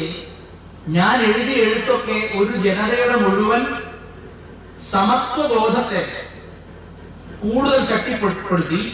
അത് സർക്കാരിനെതിരെ സമരം ചെയ്യാനുള്ള അവരുടെ സമരശേഷിയെ നന്നായി സ്വാധീനിച്ചു.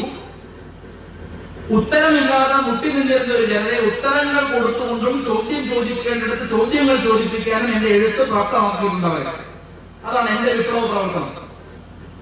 ഉടനെ വിനിയും പറയാണ് ഈ സമരഫലം അല്ല നിങ്ങൾക്ക് തല്ല് കൊണ്ടിട്ടില്ലെങ്കിൽ പിന്നെ എന്ത് വിപ്ലവകാരിയാണ് ഞാൻ കടന്നു പോകും മനുഷ്യ എന്ന് പറയുന്നത്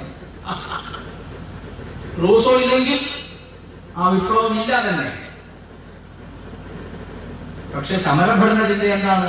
ഞാൻ അവിടെ ഗ്രൗണ്ടിൽ നിന്നവനാണ് എനിക്ക് അടി കൊണ്ടവനാണ്. അതുകൊണ്ട് എന്നെക്കാൾ മികച്ചത് ആരുമില്ല പക്ഷെ ഒരു സമരത്തിന്റെ ഒരു സമരത്തിന്റെ രസതന്ത്രം എന്താണെന്ന് വെച്ചാൽ എഴുതുന്നവൻ വേണം പറയുന്നവൻ വേണം അടി കൊള്ളുന്നവനും കൊടുക്കുന്നവനും ഒക്കെ വേണം. എല്ലാവർക്കും ഒരേ സ്ഥാനമാണെന്ന് ചിന്തിക്കുന്നിടത്താണ് ഒരു വിപ്ലവം വിജയിക്കുന്നത്. ശബരിമലയിൽ ഏതായാലും ഭാഗ്യത്തിന് അനിതര സാധാരണവും അപൂർവ സുന്ദരവുമായ ഒരവസ്ഥയാണ് ശബരിമലയിൽ നടന്നത്. ഹിന്ദുക്കൾ പൊതുവെ ഒരുമിച്ച് നമുക്ക് തെക്കോട്ട് പോകാന്ന് പറഞ്ഞാൽ ഒരുമിച്ച് വടക്കോട്ട് പോലും പോവില്ല. ഒരാൾ തെക്കോട്ടും ഒരാൾ വടക്കോട്ടും ഒരാൾ പടിഞ്ഞാട്ടും പോകുന്ന അവസ്ഥയാണ്. ആ ഹിന്ദുക്കളെ ഒരൊറ്റ നാമത്തിന് മുമ്പിൽ ഒരൊറ്റ നാമത്തിന്റെ ചരടിൽ കോർത്തെടുത്തു അയ്യപ്പൻ. അയ്യപ്പ സ്വാമിയും ഈ നാട്ടിലെ സാധാരണക്കാരായ വീട്ടമ്മമാരും എത്ര പ്രബലമായ ഒരു ബന്ധം സൂക്ഷിച്ചിരുന്നു. നമ്മൾ അറിയാതെ ഞാൻ ഒരിക്കലും ചിന്തിച്ചിട്ടില്ല. ഈ നാട്ടിലെ പന്തളത്തും പത്തനംതിട്ടയിലും കോട്ടയത്തും ഒക്കെ ഇടുക്കിയിലും ഒക്കെയുള്ള അമ്മമാർക്ക് ഇത്ര ശക്തി ഉണ്ടെന്ന് നമ്മൾ മനസ്സിലാക്കിയിരുന്നോ? ഇല്ല. പുരുഷന്മാരെ ബഹുദൂരം പിന്നിലാക്കിയിട്ട് അവർ റോഡിലേക്കാണ്ട് ഇറങ്ങി. സ്വാമിയെ ശരണമയ്യപ്പ എന്ന് വിളിച്ചുകൊണ്ടുള്ളത് ആ മന്ത്രത്തിന്റെ ധ്വനി കേരളത്തിലെ പാപക്കറയെ മധുവിന്റെ കൊലപാതകത്തിന്റെ പാപത്തെ കിടിന്റെ വിധവയുടെ പാപത്തെ വിധവ കയറിയ കണ്ണീരിന്റെ പാപത്തെ എല്ലാം നാമം കൊണ്ട് കഴുകിക്കളയാൻ അയ്യപ്പൻ ആഹ്വാനം ചെയ്തു. ശരിയാണ് അതൊരാൾക്കൂട്ടമായിരുന്നു. പതിനായിരക്കണക്കിന് പേർ റോഡിൽ ഇറങ്ങിയെങ്കിലും അതൊരു ആൾക്കൂട്ടമായമാണ് ആ ആൾക്കൂട്ടത്തിന് കൃത്യമായ ദിശാബോധം നൽകി അതിനെ ഒരു കൃത്യമായ കുന്തമുനയാക്കി മാറ്റുന്നതിൽ രാഷ്ട്രീയ സ്വയം സേവക സംഘമടക്കമുള്ള പ്രസ്ഥാനങ്ങൾ വലിയ പങ്ക് വഹിച്ചിട്ടുണ്ട് ഇല്ലെന്ന് പറയുന്നില്ല. പക്ഷെ അതിന് തുടക്കമെന്ന് പറയുന്നത് ആരും ആഹ്വാനം ചെയ്യാതെ അയ്യപ്പന് വേണ്ടി. അയ്യോ എന്റെ അയ്യപ്പന്റെ അവിടെ പെണ്ണുങ്ങൾ കയറി നശിപ്പിക്കുമെന്നൊക്കെ പെണ്ണ് എന്നോട് സ്ത്രീകൾ ചോദിച്ചിട്ടുണ്ട്. സ്ത്രീകൾ കയറി നശിക്കുന്നത് അയ്യപ്പന്റെ പാവനസ്ഥലിയല്ല നമ്മുടെ മനസ്സുകളാണ്. കാരണം ഒരു പുരുഷൻ നാൽപ്പത്തിയെട്ട് ദിവസം വ്രതമെടുത്ത് അയ്യപ്പനെ കാണുന്നുവെങ്കിൽ ഒരു സ്ത്രീ എടുക്കുന്നത് നാൽപ്പത്തിയെട്ട് വർഷത്തെ വ്രതമാണ്. ശരിയല്ലേ? ചിന്തിച്ചു നോക്കൂ.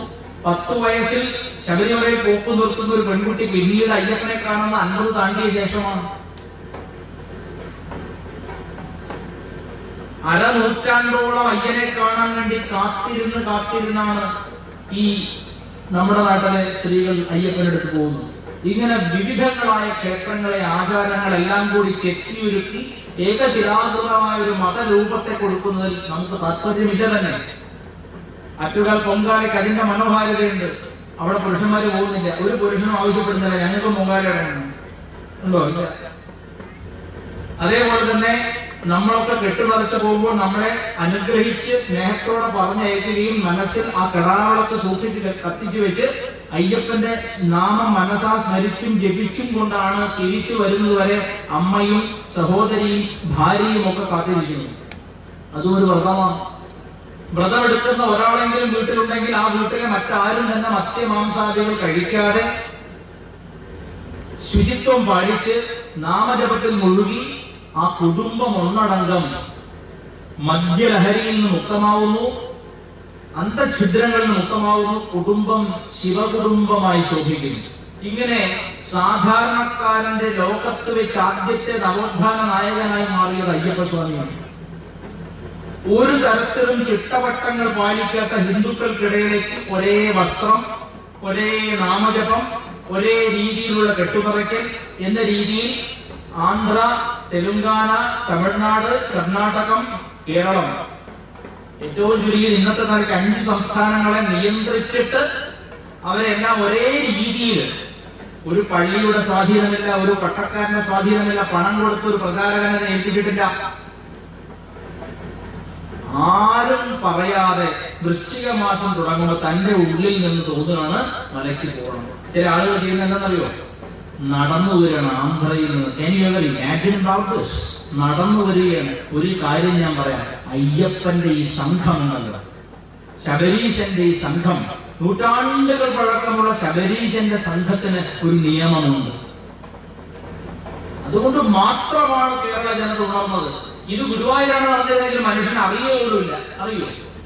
ഇതേ കാര്യം നിങ്ങൾ മറ്റൊരു ക്ഷേത്രത്തിലാണ് നടത്തിയതെങ്കിൽ ആരും അറിയില്ല. ഈ അടുത്ത കാലത്തിലെ ഗുരുവായൂരടുത്ത് പാർത്ഥസാരഥി ക്ഷേത്രത്തിൽ പോലീസ് പുലർച്ചെ കയറിയിട്ട് അവിടുത്തെ ഫയലുകൾ പിടിച്ചെടുത്ത് ആ ക്ഷേത്രം ദേവസ്വം ബോർഡിലേക്ക് കൂട്ടിച്ചേർത്തത്.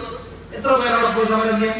പത്ത് പേര് പോയത് ചെറിയ എന്തോ പ്രക്ഷോഭം ഉണ്ടായത്രേ ഉള്ളൂ.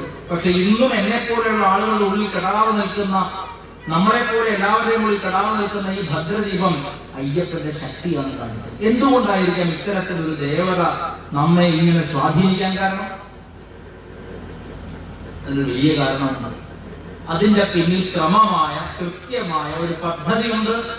നാൽപ്പത്തിയൊന്ന് ദിവസത്തെ മണ്ഡലകാലത്തിൽ ഒരു വ്യക്തിക്ക് അവന്റെ ബാക്കി ദിവസങ്ങളിൽ മുഴുവൻ ചെയ്തു പോയ പാപങ്ങളുടെ കറ കഴുകാനും അവന് ഞാൻ സ്വയം ശുദ്ധനായി മുങ്ങിക്കുളിച്ച ഒരു അനുഭൂതി. മുങ്ങിക്കുളിച്ച അനുഭൂതി അറിയണമെങ്കിൽ മുങ്ങിക്കുളിക്കണം അല്ലെ? മുങ്ങിക്കുളിച്ചു നിവർന്ന ഒരു അനുഭൂതി കിട്ടുകയാണ്. മാത്രമല്ല അവന്റെ കുടുംബത്തിൽ അതുവരെ ദിവസേന പണം കൊണ്ട ഭാര്യയ്ക്ക് കൊടുക്കാത്തയാൾ ഈ ശബരിമലയുടെ വ്രതകാലത്ത് കുടിക്കാതെ പണം കൊണ്ട് ഭാര്യയ്ക്ക് കൊടുക്കുന്നു. ഒരുപാട് അനാചാരങ്ങൾ ഇല്ലാതാവുന്നു. ശ്രേഷ്ഠമായ ഒരു ജീവിതം സാധ്യമാണെന്ന് നാൽപ്പത്തൊന്ന് ദിവസമെങ്കിലും ഹിന്ദുവിനെ കൊണ്ട് ആചരിപ്പിക്കുന്ന ഒരേ ഒരു ദേവത നമ്മുടെ അയ്യപ്പസ്വാമിയാണ്. ആ അയ്യപ്പസ്വാമി തൊട്ടതുകൊണ്ടാണ് അടി വന്നത്. എത്ര വലിയ ഭരണാധികാരിയാണെങ്കിലും ആറായിരമോ പതിനായിരമോ പോലീസുകാർ വിജയിച്ചാലും കിടക്കാൻ സമ്മതിക്കാതെ വെള്ളം ഒഴിച്ചാലും ആഹാരം നൽകുന്ന കൗണ്ടറുകൾ കൂട്ടിയാലും കക്കൂസിലെ ബക്കറ്റുകൾ തട്ടിപ്പൊട്ടിച്ചാലും വ്രതശുദ്ധിയോടുകൂടി വരുന്നവന് പട്ടിണിയും പ്രശ്നമല്ല മര- മരണവും പ്രശ്നമല്ല. കാരണം നമ്മൾ എന്താ ചൊല്ലി പഠിച്ചത് കല്ലും മുള്ളും കാലിട്ടുമെത്തയും അല്ലേ? വഴിയിലുള്ള കൂർത്തുമൂർത്ത കല്ലും പാദങ്ങൾ നോവിക്കുന്ന കല്ലും മുള്ളുമെല്ലാം അയ്യപ്പ നിന്നെ കാണാൻ വേണ്ടി നിന്റെ മുഖകവലം ഒരു നിമിഷം ദർശിക്കാൻ വേണ്ടി ഞാൻ ഇതെല്ലാം മറക്കും അയ്യപ്പ എന്ന് പ്രാർത്ഥിക്കുന്നവരാണ്. പണ്ടേക്ക് പണ്ടേ സമരം വന്നതിന് ശേഷം അല്ല കേട്ടോ. പ്രക്ഷോഭം വന്നതിന് ശേഷമല്ല. പണ്ടേക്ക് പണ്ടേ അയ്യപ്പന്റെ പ്രാർത്ഥന എന്താ? ഒരു സ്വാമി ആയിട്ട് പോകുന്ന ആളുടെ പ്രാർത്ഥന എന്താ? കല്ലും മുള്ളും കാലിക്കുമെത്തയും എത്ര കഠിനമായ പാതയും ഞങ്ങൾ ആസ്വദിക്കുന്നു അയ്യപ്പ. കാരണം അവിടുത്തെ പുണ്യ ദർശനം മാത്രമാണ് ഞങ്ങളുടെ ലക്ഷ്യം. അങ്ങനെ ഒരേ ഒരു ലക്ഷ്യത്തോടുകൂടി പോകുന്ന ഒരു ജനതയെ ഹൈന്ദവ സമാജത്തിൽ സാധ്യമാക്കിയത് നൂറ്റാണ്ടുകൾക്ക് മുമ്പേ അയ്യപ്പസ്വാമിയാണ്. അതുകൊണ്ടാണ് ഇത്ര വലിയ നിങ്ങൾ ചോദിക്കും ആ പ്രശ്നമൊക്കെ കഴിഞ്ഞില്ല? പിന്നെ എന്തിനായിട്ട് ഒരു പറയുന്നത് പ്രശ്നം കഴിഞ്ഞിട്ടില്ലല്ലോ. കോടതി മാറിയില്ല. മാറിയോ കോടതി മാറിയില്ലല്ലോ. ഇപ്പോഴും നമ്മൾ ഈ പ്രശ്നത്തിന്റെ നിഴലിലാണല്ലോ കരിനിഴലിലാണ് സംശയം വേണ്ട. വെസ്റ്റിലാണ് the black cloud of the reformist court നമ്മൾ ഇതുവരെ വിജയിച്ചിട്ടില്ല നമ്മുടെ വിജയം സാധ്യമാവുന്ന എപ്പോഴാണ്? ഹിന്ദു ധർമ്മത്തിന് ഒരു മതത്തിന് കിട്ടുന്ന എല്ലാ അവകാശങ്ങളും കിട്ടുമ്പോഴാണ്. ചെറുതെങ്കിലും ഓരോ ക്ഷേത്രത്തിലെയും ആചരണ പദ്ധതികൾ വ്യത്യസ്തമാണെന്നും അവിടെ അവിടങ്ങളിലെ താന്ത്രിക സംവിധാനങ്ങൾ വ്യത്യസ്തമാണെന്നും അവയെ ആദരിക്കണമെന്നും ഭരണകൂടവും കോടതിയും മനസ്സിലാക്കുന്നത് വരെ നമ്മുടെ മതകാര്യങ്ങളിൽ ബാഹ്യമായ ഒരു ശക്തിയും ഇടപെടാ ഇടപെടാൻ ധൈര്യപ്പെടാത്തത് വരെ നമുക്ക് വിശ്രമമില്ല ഉറക്കം പാടില്ല ജാഗ്രതയിലിരിക്കണം അത്തരത്തിൽ ഉയരാനാണ് അയ്യപ്പസ്വാമി നമ്മെ പഠിപ്പിച്ചത്. കഴിഞ്ഞ ഇപ്പൊ ഇന്ന് വരുമ്പോൾ തന്നെ രാഷ്ട്രീയ സ്വയംസേവക സംഘത്തിന്റെ ഒരു സ്വയംസേവനോട് പറഞ്ഞു ആട്ടവളക്കിന്റെ സമയത്ത് പോലീസുകാര് കടകൾ നിർബന്ധമായി അടപ്പിക്കുകയും നിന്നുള്ള മിനറൽ വാട്ടറിന്റെ ബോട്ടിലൊക്കെ വാങ്ങിക്കൊണ്ട് പോവുകയും ചെയ്യുക കാരണം എന്താ? ഈ അയ്യപ്പസ്വാമിയുടെ ആചാരം സംരക്ഷിക്കാൻ വരുന്ന ഒരുത്തനും ഒരു തുള്ളി വെള്ളം കിട്ടരുത്. എത്ര നല്ല മനസ്സല്ലേ നമ്മുടെ ഭരണാധികാരികൾ. ഒരു മനുഷ്യന് ഒരു തുള്ളി വെള്ളം കിട്ടരുത് എന്ന് ആഗ്രഹിക്കുക കണ്ടോ? പോരാ. ആഹാരം കിട്ടാതിരിക്കാൻ വേണ്ടി എല്ലാ ക്യാന്റീനും അടപ്പിക്കുകയാണ് അവിടെ നിൽക്കുന്നില്ല അവൻ കുളിക്കാതിരിക്കാനും മലവിസർജനം ചെയ്യാതിരിക്കാനും കക്കൂസിലെ ബക്കറ്റുകൾ അടിച്ചു പൊട്ടിക്കുകയാണ്. ആരുടെ പൈസ കൊണ്ട് വാങ്ങിയ ബക്കറ്റ ഓരന്റെ പൈസ ആണോ? ആരുടെ പൈസ കൊണ്ടാ ബക്കറ്റ് വാങ്ങിയത്?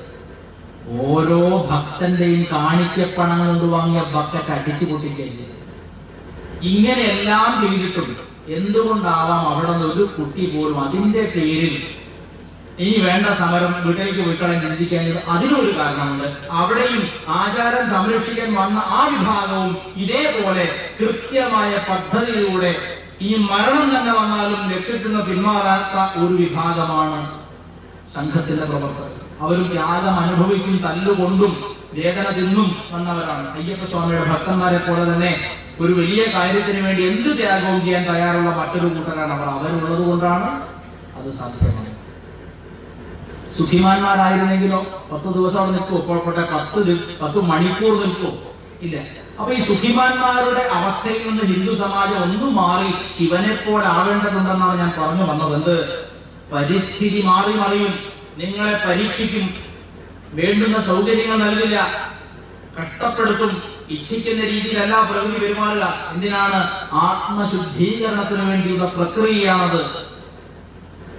മറന്നുപോയത് മതം എന്ന് പറഞ്ഞാൽ ആത്മശുദ്ധീകരണമാണ്.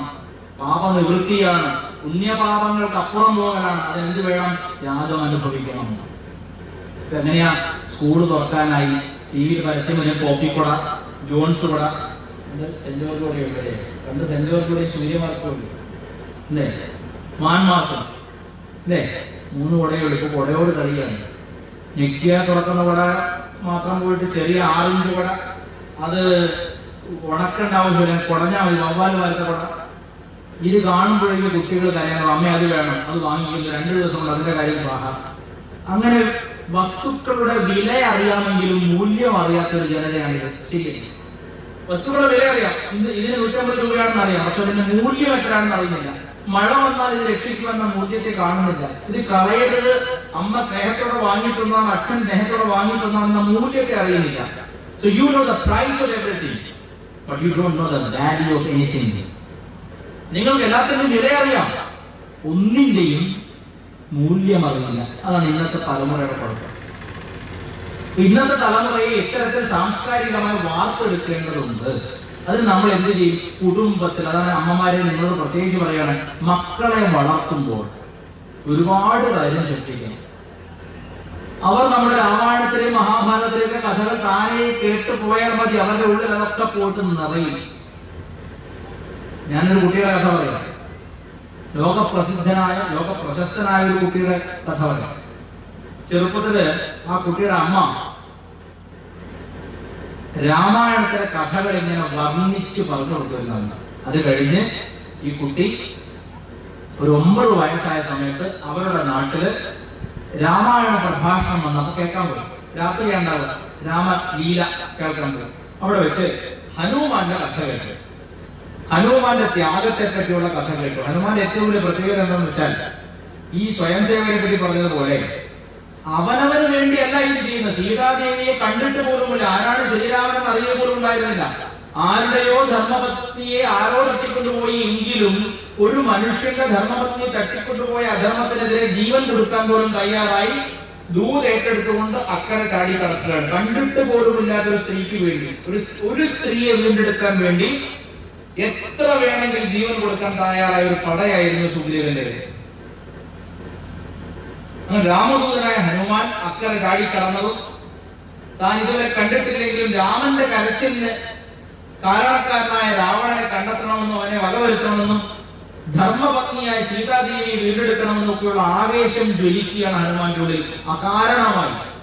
എന്താ കാരണം അകാരണത്തിന്റെ കാരണം എന്താ ധർമ്മമാണ് അവിടെ കൊല്ലപ്പെടുന്നത്. ഒരു സ്ത്രീ ശബരിമലയിൽ കയറിയാൽ നിങ്ങൾക്ക് എന്താ കൂട്ടരെന്ന് ചോദിക്കുന്ന ഉത്തരവാദ?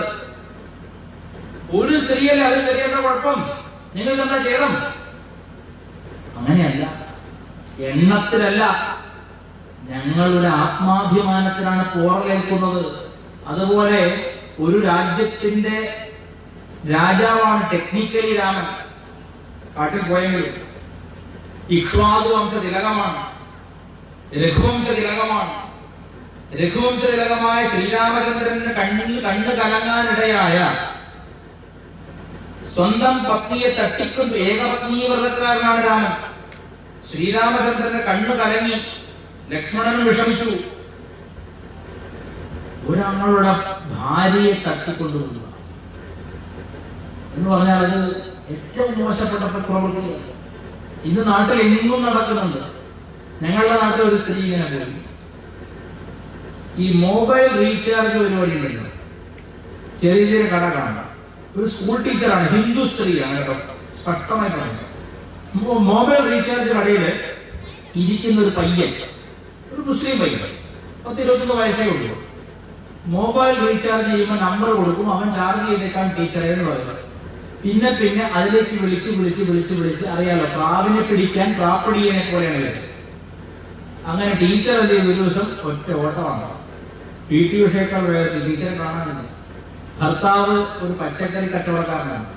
അയാൾ വെളുപ്പിന് പച്ചക്കറി ഓർഡറാക്കാൻ വേണ്ടി പോകും അയാൾ ഈ കാണുന്ന പോലെ സുഗന്ധദ്രവ്യങ്ങൾ കുടിച്ചിട്ടല്ല അയാൾ കഷ്ടപ്പെട്ട് കുട്ടികളെ പോയിട്ട് രണ്ട് കുട്ടികളുടെ അമ്മയാണെന്ന് ഓർക്കണം. വികാരത്തിന് അടിമപ്പെട്ടിയ സ്ത്രീ മൂവുകയാണ്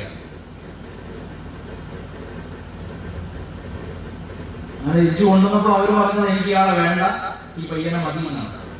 അങ്ങനെ അത് പോയി മതം മാറി. ഞാൻ ഈ പറയാൻ കാരണം പുലട എന്ന് പറയുന്നത് കുലസ്ത്രീയുടെ വിപരീതമാണ്. ശബരിമലയിലെ ധർമാചരണത്തിന് വേണ്ടി വാദിക്കുന്ന ധർമ്മ ശബരിമലയിലെ ആചരണങ്ങൾ വെടിയാൻ പാടില്ലെന്നും അത് ലംഘിക്കാൻ പാടില്ലെന്നും വാദിക്കുന്ന സ്ത്രീകളെ കുലസ്ത്രീകൾ എന്ന് വിളിച്ച് അപമാനിക്കുകയാണ് ഇപ്പോൾ. അങ്ങനെയെങ്കിൽ തിരിച്ചു ചോദിക്കട്ടെ നിങ്ങളുടെ വീട്ടിലുള്ളത് കുലടകളാണോ? കുലത്തിന്റെ ആചാരത്തെ വഞ്ചിക്കുന്നവരാണ് കുലട എന്ന് പറയുന്നത്. നമ്മൾ കുലസ്ത്രീകളെ നിർമ്മിക്കുന്ന നാടാണ് ഭാരതം. കുലസ്ത്രീകൾ എന്ന് പറഞ്ഞാൽ കുലാചാരത്തെ സംരക്ഷിക്കുന്നവരാണ്. അല്പം സൗകര്യം കുറവാണെങ്കിലും സുഗന്ധദ്രവ്യം ഇല്ലെങ്കിലും പത്നിക്കും പതിക്കും തമ്മിൽ ശിവനും ശക്തിക്കും തമ്മിലുള്ള ബന്ധമാണെന്നും പതി ശിവൻ തന്നെയാണെന്നും കാണുന്ന സംസ്കാരം. അത് മറന്നുപോകും ഒരുപാട് അമ്മമാരങ്ങനെ മറന്നുപോകുന്നു അനിയനായ ഞാനത് പറയേണ്ടി വരുന്നത് എനിക്ക് വിഷമം. നടക്കുന്ന കാര്യമാണ് കഥയിലേക്ക് തിരിച്ചു വരാം. ആരുടെയോ പത്നിയെ തട്ടിക്കൊണ്ടുപോയ ഒരു ദൗത്യത്തിൽ തിരിച്ചെടുത്തു കൊണ്ടുവരാൻ വേണ്ടി പറഞ്ഞു ഹനുമാൻ. ഈ കഥയൊക്കെ കേട്ട് അനേകം ഞാനിവിടെ ഒരുപാട് പ്രാണികളുണ്ട് നിങ്ങൾ വാട്സപ്പ് കളിക്കുകയാണ്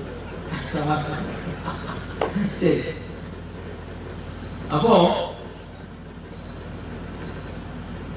ഈ കഥ കേട്ടിട്ട് കേൾക്കാൻ പോയ കുട്ടിക്ക് വലിയ പ്രഭാവിതനായി കിട്ടി ശ്രദ്ധ അവനെ ആവാഹിച്ചു അതിൽ ശ്രദ്ധ അവനെ ആവേശിച്ചു എന്നുള്ളതാണ്.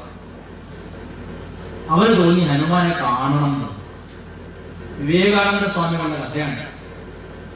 ഒമ്പത് വയസ്സുള്ളപ്പോൾ സ്വാമിജി ആ രാമകഥാ പ്രഭാഷകൻ ആ പ്രഭാഷണത്തിൽ പറഞ്ഞു ഹനുമാൻ രാത്രി സമയങ്ങളിൽ കദളീ വനത്തിൽ വരുമെന്ന് പറഞ്ഞു ഇത് കേട്ടിട്ട് അന്ന് തിരിച്ച് വീട്ടിൽ പോവാണ്ട സ്വാമിജി കദളീ വനത്തിനകത്ത് പോയി രാത്രി മുഴുവൻ ഹനുമാനെ കാത്തിരുന്നു. ആ സ്വാമി പിൽക്കാലത്ത് യുക്തിവാദത്തിലൂടെ കടന്നുപോയി ശ്രീരാമകൃഷ്ണ പരമഹംസൻ എന്ന സ്കൂളിൽ പോയിട്ടില്ലാത്ത സംസാരിക്കുമ്പോൾ ഏറിയ തോറും വിക്കുണ്ടായിരുന്ന എന്നാൽ ആത്മാനുഭൂതിയുടെ പരമകാഷ്ഠയിൽ വിരാജിച്ചിരുന്ന മഹാത്മാവിന്റെ അടുത്ത് പോയി ആ പദാന്തികയിരുന്ന് പഠിച്ചു. സത്യമറിഞ്ഞു.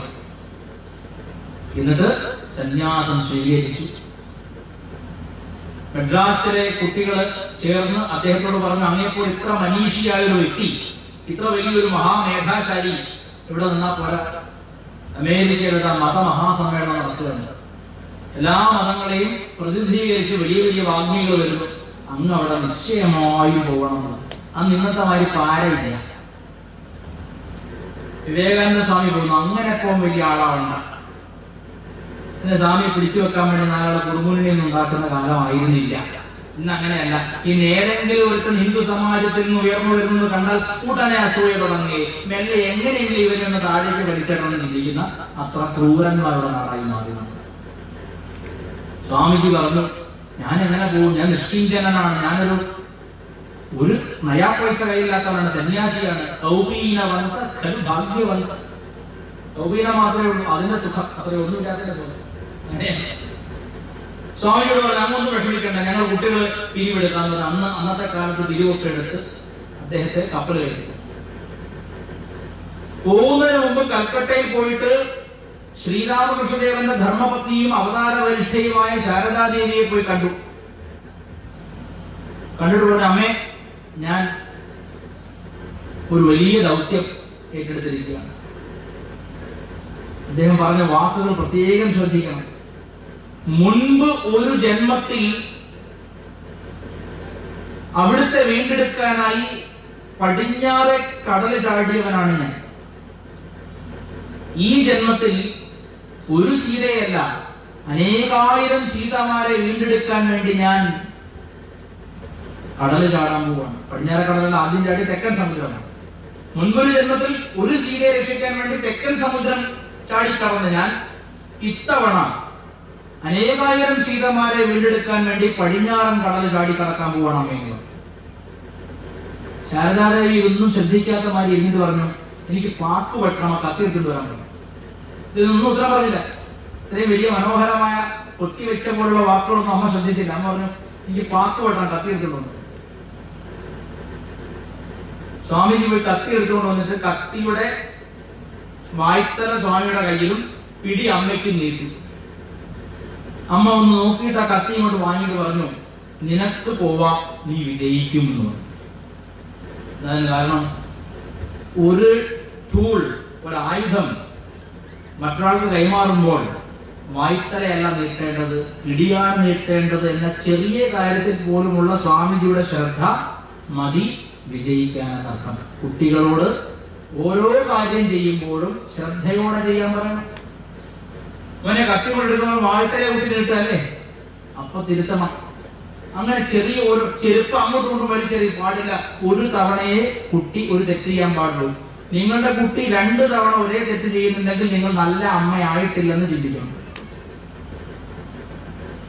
ഒന്നുകൂടി പറയട്ടെ? ചില കുട്ടികളുണ്ട്. ഇന്ന് ഞാൻ വന്നപ്പോ അനുഭവിച്ചാണ് ഒരാളുടെ കുഞ്ഞുമകൻ എന്റെ മുമ്പിൽ ഇരിക്കില്ലായിരുന്നു നമുക്ക് ഇവിടുന്ന് ബിജി ചേട്ടനെ കാണാൻ മുമ്പത്തെ കഥയാവുന്നു ഇന്നത്തെ ദിവസം. മുമ്പിൽ ഒരു കൊച്ചുകുട്ടിയാ. മെല്ലെ ഇങ്ങനെ കാലുകൊണ്ട് എന്നെ ഇങ്ങനെ ഒരു വികൃതിയാ ഒരു മൂന്നര വയസ്സ് നട്ടപ്രാന്തിന് സമയമുണ്ടല്ലോ. നാലാം വയസ്സിൽ നത്തപ്പറന്ന് പറയില്ലേ? ഒന്നാമത് ചവിട്ടിയപ്പോ അമ്മ പറഞ്ഞു "ഏ, പാടില്ല എന്ന് പറഞ്ഞു. രണ്ട് മിനിറ്റ് കഴിഞ്ഞാൽ രണ്ടാമതും ചവിട്ടും മൂന്നാമതും ചവിട്ടി പോരുന്നവരെ ചവിട്ട് പോകും. ഞാൻ അപ്പൊ അമ്മ ഇനിയും അമ്മയായിട്ടില്ല. ഒരു ഗുരുവിന്റെ സ്ഥാനത്തേക്ക് അമ്മ ഉയരണം. എന്റെ അമ്മയ്ക്ക് വലിയ വിദ്യാഭ്യാസമില്ല. വലിയ എന്ന് പറയുന്ന വലിയ വിദ്യാഭ്യാസം ഇല്ലാത്തയാളാണ് പക്ഷേ കുട്ടിക്കാലത്ത് ഒരു നോട്ടം വന്നു. പറയണ്ട വാക്ക് ചെലവാക്കരുത് കേട്ടോ. ഏറ്റവും വിലപിടിപ്പുള്ള വാക്കാണ്. അമ്മമാർ വാക്ക് ചെലവാക്കരുത്. അമ്മമാരുടെ നോട്ടം അത് കുട്ടി അച്ചടക്കം പഠിക്കണം. അങ്ങനെ നടക്കണം. ഇതിനാൽ പറഞ്ഞ് വിവേകാനന്ദ സ്വാമികളോട് ശാരദാദേവി പറഞ്ഞെന്താ നിനക്ക് പോകാം നീ വിജയിക്കും. കാരണം നിനക്ക് ചെറിയ കാര്യങ്ങളിൽ പോലും ശ്രദ്ധയുണ്ട്. തൻകാര്യമല്ലെങ്കിലും അന്യന്റെ കാര്യത്തിന് വേണ്ടി ശരീരം മറന്ന് മെയ് മറന്ന് സുഖം മറന്ന് മാനം മറന്ന് ജീവിക്കണം. അന്യനു വേണ്ടി ആദ്യം പറഞ്ഞത് എന്താണ്? ആത്മനോ മോക്ഷാർത്ഥം ജഗദ്ധിതായ. അതുകൊണ്ട് തന്നെയാണ് വിവേകാനന്ദ സ്വാമി ആ ആത്മവാക്യം തിരഞ്ഞെടുത്ത് രാമകൃഷ്ണ മഠത്തിന് കൊടുത്തത്. ഞാൻ ഏമ്പക്കം നിങ്ങൾ ഒരിക്കൽ ഒരുപാട് ഭക്ഷണം കഴിച്ചിട്ട് അതൊന്നും കഴിക്കാത്ത ഏമ്പക്കാട്ട നിങ്ങൾ കഴിച്ചിട്ടല്ലേ?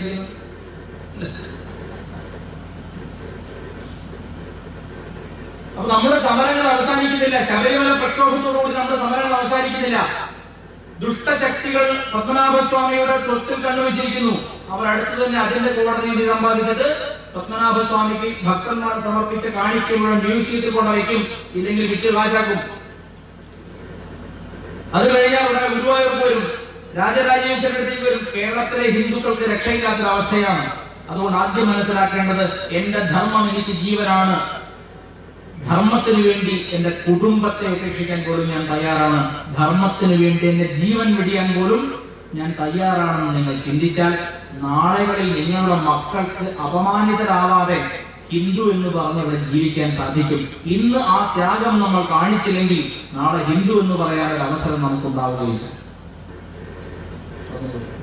അതാണ് ഹനുമാൻ പഠിക്കേണ്ടത് തൻ കാര്യമായിക്കൊള്ളുന്നില്ല ഏതോ ശബരിമലയിൽ ആരോ കയറിനെ ഞങ്ങൾക്ക് എന്താ ചിന്തിക്കരുത്. നമ്മുടെ ശബരിമലയിൽ നമ്മുടെ പത്മനാഭസ്വാമി ക്ഷേത്രത്തിൽ നമ്മുടെ ഗുരുവായൂരിൽ നമ്മുടെ കാവുകളിൽ നമ്മുടെ ആചരണങ്ങളിൽ ഒരുത്തനും ഒരു കെട്ടിയിറക്കി നവോത്ഥാനവും നടത്താൻ നമ്മൾ സമ്മതിക്കുകയില്ല.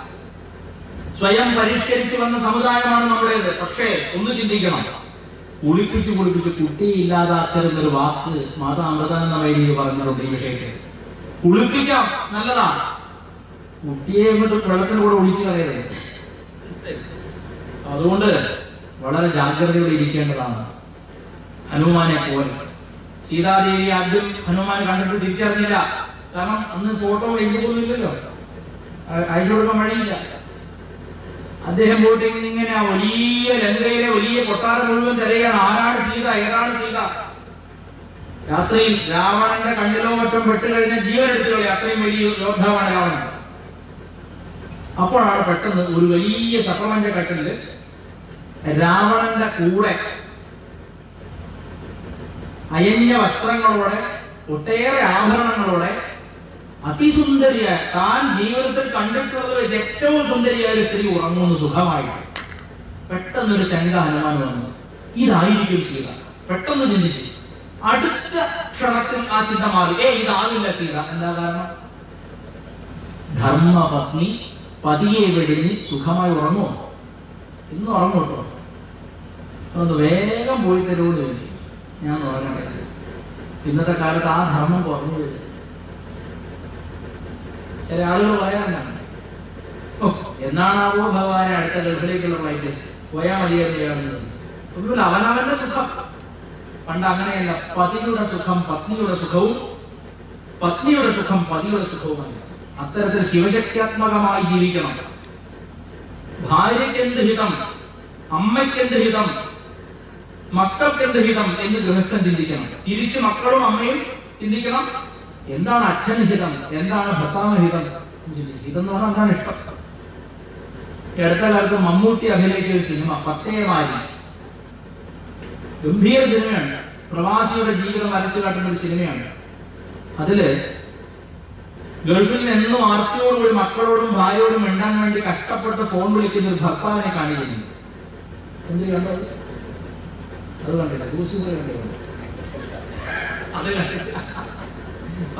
ഒന്ന് കാണണം. ഒരു സന്ദേശം സന്ദേശമുണ്ടല്ലോ കഷ്ടപ്പെട്ട് വിളിക്കണം നാരായണൻ എന്ന് പറഞ്ഞ ഒരാൾ വിളിക്കുകയാണ് കഷ്ടപ്പെട്ട് വിളിക്കണം. ഭാര്യയുടെ സ്വരമൊന്ന് കേൾക്കാൻ മക്കളുടെ ശബ്ദമൊന്ന് കേൾക്കാൻ. ഭാര്യ ഫോൺ എടുക്കുന്ന സീരിയൽ മുറിഞ്ഞു പോയ ദുഃഖത്തിൽ ആ ഫോൺ എടുക്കുന്നത്. സീരിയലിൽ ഒരു രണ്ട് മിനിറ്റ് പോയ വിഷമാണല്ലോ നാളെ പരീക്ഷയുള്ളതാണല്ലോ സീരിയലിനെ പറ്റി. ഭാര്യ കഷ്ടപ്പെട്ട് പോകണം ഞാൻ എന്തായേക്കാം അപ്പൊ അയാൾ ആർക്കൂടെ സംസാരിക്കാൻ തുടങ്ങുമ്പോൾ ഇവർ മെല്ലെ വെക്കാനുള്ള പരിപാടിയാണ് അയാൾ അവിടെ വെറും കുബൂസും തൈറും കൂട്ടി കഴിക്കണം ഒന്നുമില്ല കഴിക്കാൻ. ഭാര്യയോട് എന്താ കഴിച്ച്? ഞാൻ ഇന്ന് ഇന്നെ കറി ഉണ്ടാക്കി അയാൾ അവിടെ നിന്ന് ഇങ്ങനെ കൊതി വിടുകയാണ്. എന്നാ മക്കൾക്ക് കൊടുത്ത് അപ്പൊ മക്കൾ അവിടെ നിന്ന് ശബ്ദമില്ലാന്ന് പറയാം അമ്മയെ ഞങ്ങൾ ഉറങ്ങി എന്ന് പറഞ്ഞേക്കുന്നത്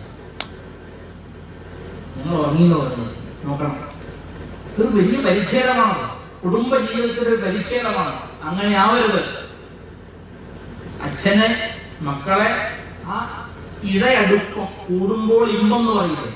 ആ ഇഴയടുപ്പം ഉണ്ടാവണം. ഇഴയടുപ്പം ഉണ്ടാവാൻ നല്ലൊരു പദ്ധതി ഞാൻ പറഞ്ഞുതരാം. ഒരുമിച്ച് ധാർമ്മിക കാര്യങ്ങളിൽ ഇടപെടണം. ഒരുമിച്ച് ക്ഷേത്ര ദർശനം നിത്യേന നാമം ജപിക്കുമ്പോൾ ഒരുമിച്ച് ഒരുമിച്ച് മാത്രമേ ഊണ് കഴിക്കാവൂ. ഒരുമിച്ച് മാത്രമേ ഊണ് കഴിക്കാവൂ. ഒരു ഉരുള ഭർത്താവിന് ഭാര്യയും ഭാര്യയ്ക്ക് ഭർത്താവും മക്കൾക്ക് അച്ഛനും അമ്മയും കൊടുക്കണം. അങ്ങനെയൊക്കെ ഒരു സ്നേഹം ഉണ്ടാക്കിയെടുക്കണം. പരസ്പരം മിണ്ടാതെ അങ്ങോട്ടും ഇങ്ങോട്ടും ഏതോ ഹോസ്റ്റലിനെ പോലെ ഇരിക്കുന്നു. കുടുംബം ഹിന്ദുധർമ്മത്തിന്റെ അടിസ്ഥാന ഏകകമാണ് കുടുംബം. ഋഷിമാർ പരമപ്രാധാന്യം കൊടുത്തിട്ടുള്ളതാണ്. കുടുംബത്തിലെ ആചരണമാണ് സമാജത്തെ പ്രതിഫലിക്കുന്നത് അതുകൊണ്ട് ഐക്യമുള്ള കുടുംബങ്ങൾ ഉണ്ടായി കഴിഞ്ഞു. മദ്യപാനമോ ദുശ്ശീലമോ ഉണ്ടെങ്കിൽ കൗൺസിലിംഗ് നടത്തി പരിഹരിക്കണം സ്നേഹത്തോടുകൂടി മാത്രം ഭാഷണം ചെയ്യണം കുടുംബത്തിൽ ക്രൂരമായ വാക്കുകൾ ഉപയോഗിക്കരുത്. കുഞ്ഞുങ്ങളെ മുമ്പിൽ വിശേഷിച്ചും അവർ ബ്ലോട്ടിംഗ് പേപ്പറാണ്. എല്ലാം ഒപ്പിയെടുക്കും. ആവർത്തിക്കും.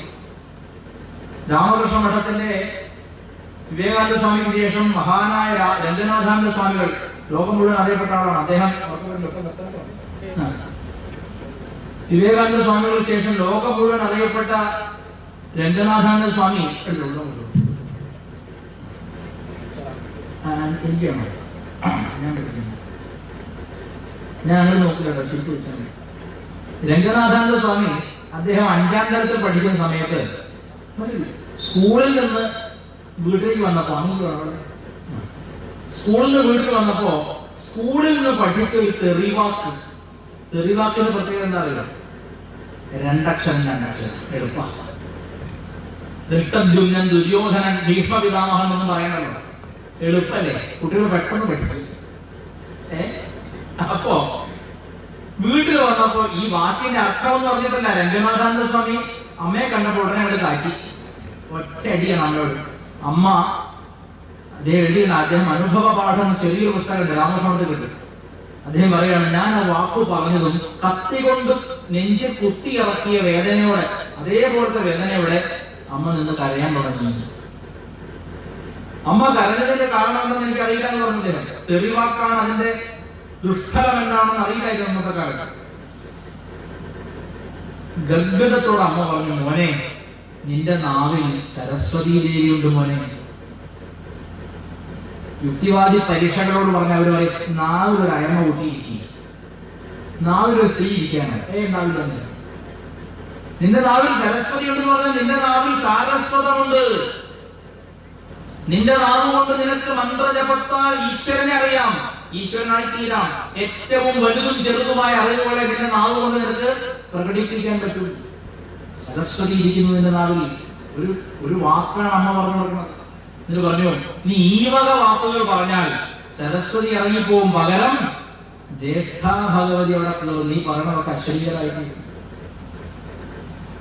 ശരിയായിട്ട് എന്ന് അത് കേട്ടതോടെ അദ്ദേഹത്തിന് വലിയ ലജ്ജയുണ്ട് കുട്ടികൾക്ക് ചെറുപ്പത്തിലെ ചൊല്ലിക്കൊടുക്കണം. ഞാൻ ഒരു വീട്ടിൽ ഒരു കല്യാണമായിട്ട് പോയപ്പോ കൂടെ രണ്ടുപേരും വന്നില്ല അതിലൊരാൾ അവിടെ ചെറിയൊരു കുട്ടിയെ കളിപ്പിക്കാൻ വേണ്ടി മോനെ ഇങ്ങോട്ട് വാ എന്താ പേരെന്ന് വെച്ചപ്പോ ഒരു മുട്ടം കയറി ആ കുട്ടി വന്നു. ഇവന് സമാധാനം ഇവനെ അടങ്ങി സമാധിയായിരുന്നു അവിടെ. അന്ന് ആ വിശപ്പിന് കേട്ടുപോയാൽ പക്ഷേ അമ്മ തിരുത്തുകയല്ല ചെയ്ത് അമ്മ ചിരിക്കുക പെറ്റമ്മ ചിരിക്കുകയാണ് മകനെന്തോ യുദ്ധം ജയിച്ച പോലെ. ഇങ്ങനെ അവരുടെ അനാവശ്യം പറയിപ്പിക്കരുത്. കുട്ടികളെ നല്ല വാക്ക് പറഞ്ഞു. അതല്ലേ പണ്ടത്തെ പ്രാർത്ഥന? നല്ല വാക്ക് ഓതുവാൻ പ്രാണിയുണ്ടാകണം ഏഴാം തരത്തിൽ രംഗനാഥാനന്ദ സ്വാമികളുടെ പഠിത്തം തീർന്നു. പിന്നെ പഠിക്കാൻ പറ്റില്ല. ഏഴാം തരം വരെ പഠിച്ചുള്ളൂ എങ്ങനെയൊക്കെയോ സന്യാസം നേടി രാമകൃഷ്ണ മഠത്തിലെ മൈസൂർ ആശ്രമത്തിലെ വെറും കുശിനിക്കാരനായി പാചകവേല കൊടുക്കും വിദ്യാഭ്യാസമില്ലല്ലോ. പാചകം ചെയ്യാൻ ചോദിക്കുന്നു. പക്ഷെ നോക്കണം അദ്ദേഹം ഏഴോ എട്ടോ ഭാഷകൾ അനായാസമായി സംസാരിക്കുകയും എഴുതുകയും ചെയ്ത് ലോക പ്രസിദ്ധനായി തീർന്നു. അനേകം മഹത്തായ ഗ്രന്ഥങ്ങൾ എഴുതി ഗീതാശ ഭാഗ ഭഗവത്ഗീതയ്ക്ക് ഭാഷ എഴുതി വ്യാഖ്യാനം എഴുതി. എങ്ങനെ സാധിച്ചു? അമ്മ പറഞ്ഞ വാക്ക് സരസ്വതി ഉണ്ട് നമ്മൾ വിശ്വസിച്ച്. ഉറച്ച് സരസ്വതി വന്ന് ഇരുന്നു. സ്കൂൾ വിദ്യാഭ്യാസം പോലും പൂർത്തിയാക്കാത്ത ആൾക്ക് റഷ്യനും ഫ്രഞ്ചും ഒക്കെ വഴങ്ങി കാരണം ഒരു ചെറിയ വിശ്വാസത്തിന്റെ ഭദ്രദീപം ഒരമ്മ കൊളുത്തി കൊടുത്തതാണ്. നിങ്ങളുടെ കുഞ്ഞുങ്ങളെ അതുപോലെ വളർത്തു. ശബരിമലയും പത്മനാഭസ്വാമിയും ഒക്കെ നമ്മുടെ മക്കൾ നാളെ അഭിമാനപൂർവം സംരക്ഷിക്കും. നല്ല വാക്ക് പറഞ്ഞു കൊടുത്താൽ ധൈര്യത്തോടെ വളർത്തിയാൽ ധർമ്മം പറഞ്ഞുകൊണ്ട് വളർത്തിയാൽ നാളെ നമുക്ക് സമരത്തിൽ ഇറങ്ങേണ്ടി വരില്ല. കുഞ്ഞുങ്ങൾ നോക്കിക്കോളും. അത്തരത്തിൽ വളർത്തണമല്ലോ. കുടുംബം ശ്രീകോവിൽ പോലെയാകണം. കുടുംബത്തിൽ രാമായണവും മഹാഭാരതവും വിവേകാനന്ദ സാഹിത്യവും ഒക്കെ ചർച്ച ചെയ്യപ്പെടണം പഠിക്കണം ഞാൻ നല്ലൊരു കുടുംബം ശിവകുടുംബം. പ്രതികൂല സാഹചര്യങ്ങൾ വരാം പട്ടിണി വരാം. സാമ്പത്തിക പ്രശ്നങ്ങൾ വരാം. ആത്മഹത്യ പരിഹാരമേയല്ല. ഹന്യതേ ഹന്യമാനേ ശരീരെ. ആത്മാവിനെ കൊല്ലാൻ പറ്റില്ല കൊല്ലുന്നത് ഈ ശരീരത്തെയാണ്. ഈ വേദനയും മനസ്സും വീണ്ടും ജനിക്കും. അടുത്തൊരു ജന്മത്തിൽ വീണ്ടും നരകിക്കും അതുകൊണ്ട് ആത്മഹത്യ പരിഹാരമല്ല. സമാജത്തോട് ചർച്ച കുടുംബത്തിൽ നിന്ന് സമാജത്തിലേക്ക് ഒരു ചർച്ച ഉണ്ടാകണം. ഒരുമിച്ച് നാം സഹോദരങ്ങളെ പോലെ ഇരിക്കണം. അങ്ങനെ ഒരു നല്ല ലോകം ഉണ്ടായി കാണാൻ ഞാൻ ആഗ്രഹിക്കുന്നു. അതിന് ഭഗവത്ഗീതയും മഹാഭാരതവും രാമായണവും എല്ലാം നന്നായി ചർച്ച ചെയ്യുന്ന വീടുകൾ ഉണ്ടാകണം അത്തരത്തിൽ ഉയരാൻ നിങ്ങളോട് ഞാൻ പ്രാർത്ഥിക്കുന്നു. അധിക സമയം എടുത്താൽ എന്റെ ട്രെയിൻ അതിന്റെ വഴിക്ക് പോകും. ഹര നമ പാർവതീപതയേ ഹര ഹര മഹാദേവ് സർവത്ര ഗോവിന്ദനാമ സങ്കീർത്തനം ഗോവിന്ദ ഗോവിന്ദ. ജയ ജാനകീകാന്ത സ്മരണം ജയ ജയ രാമ രാമ.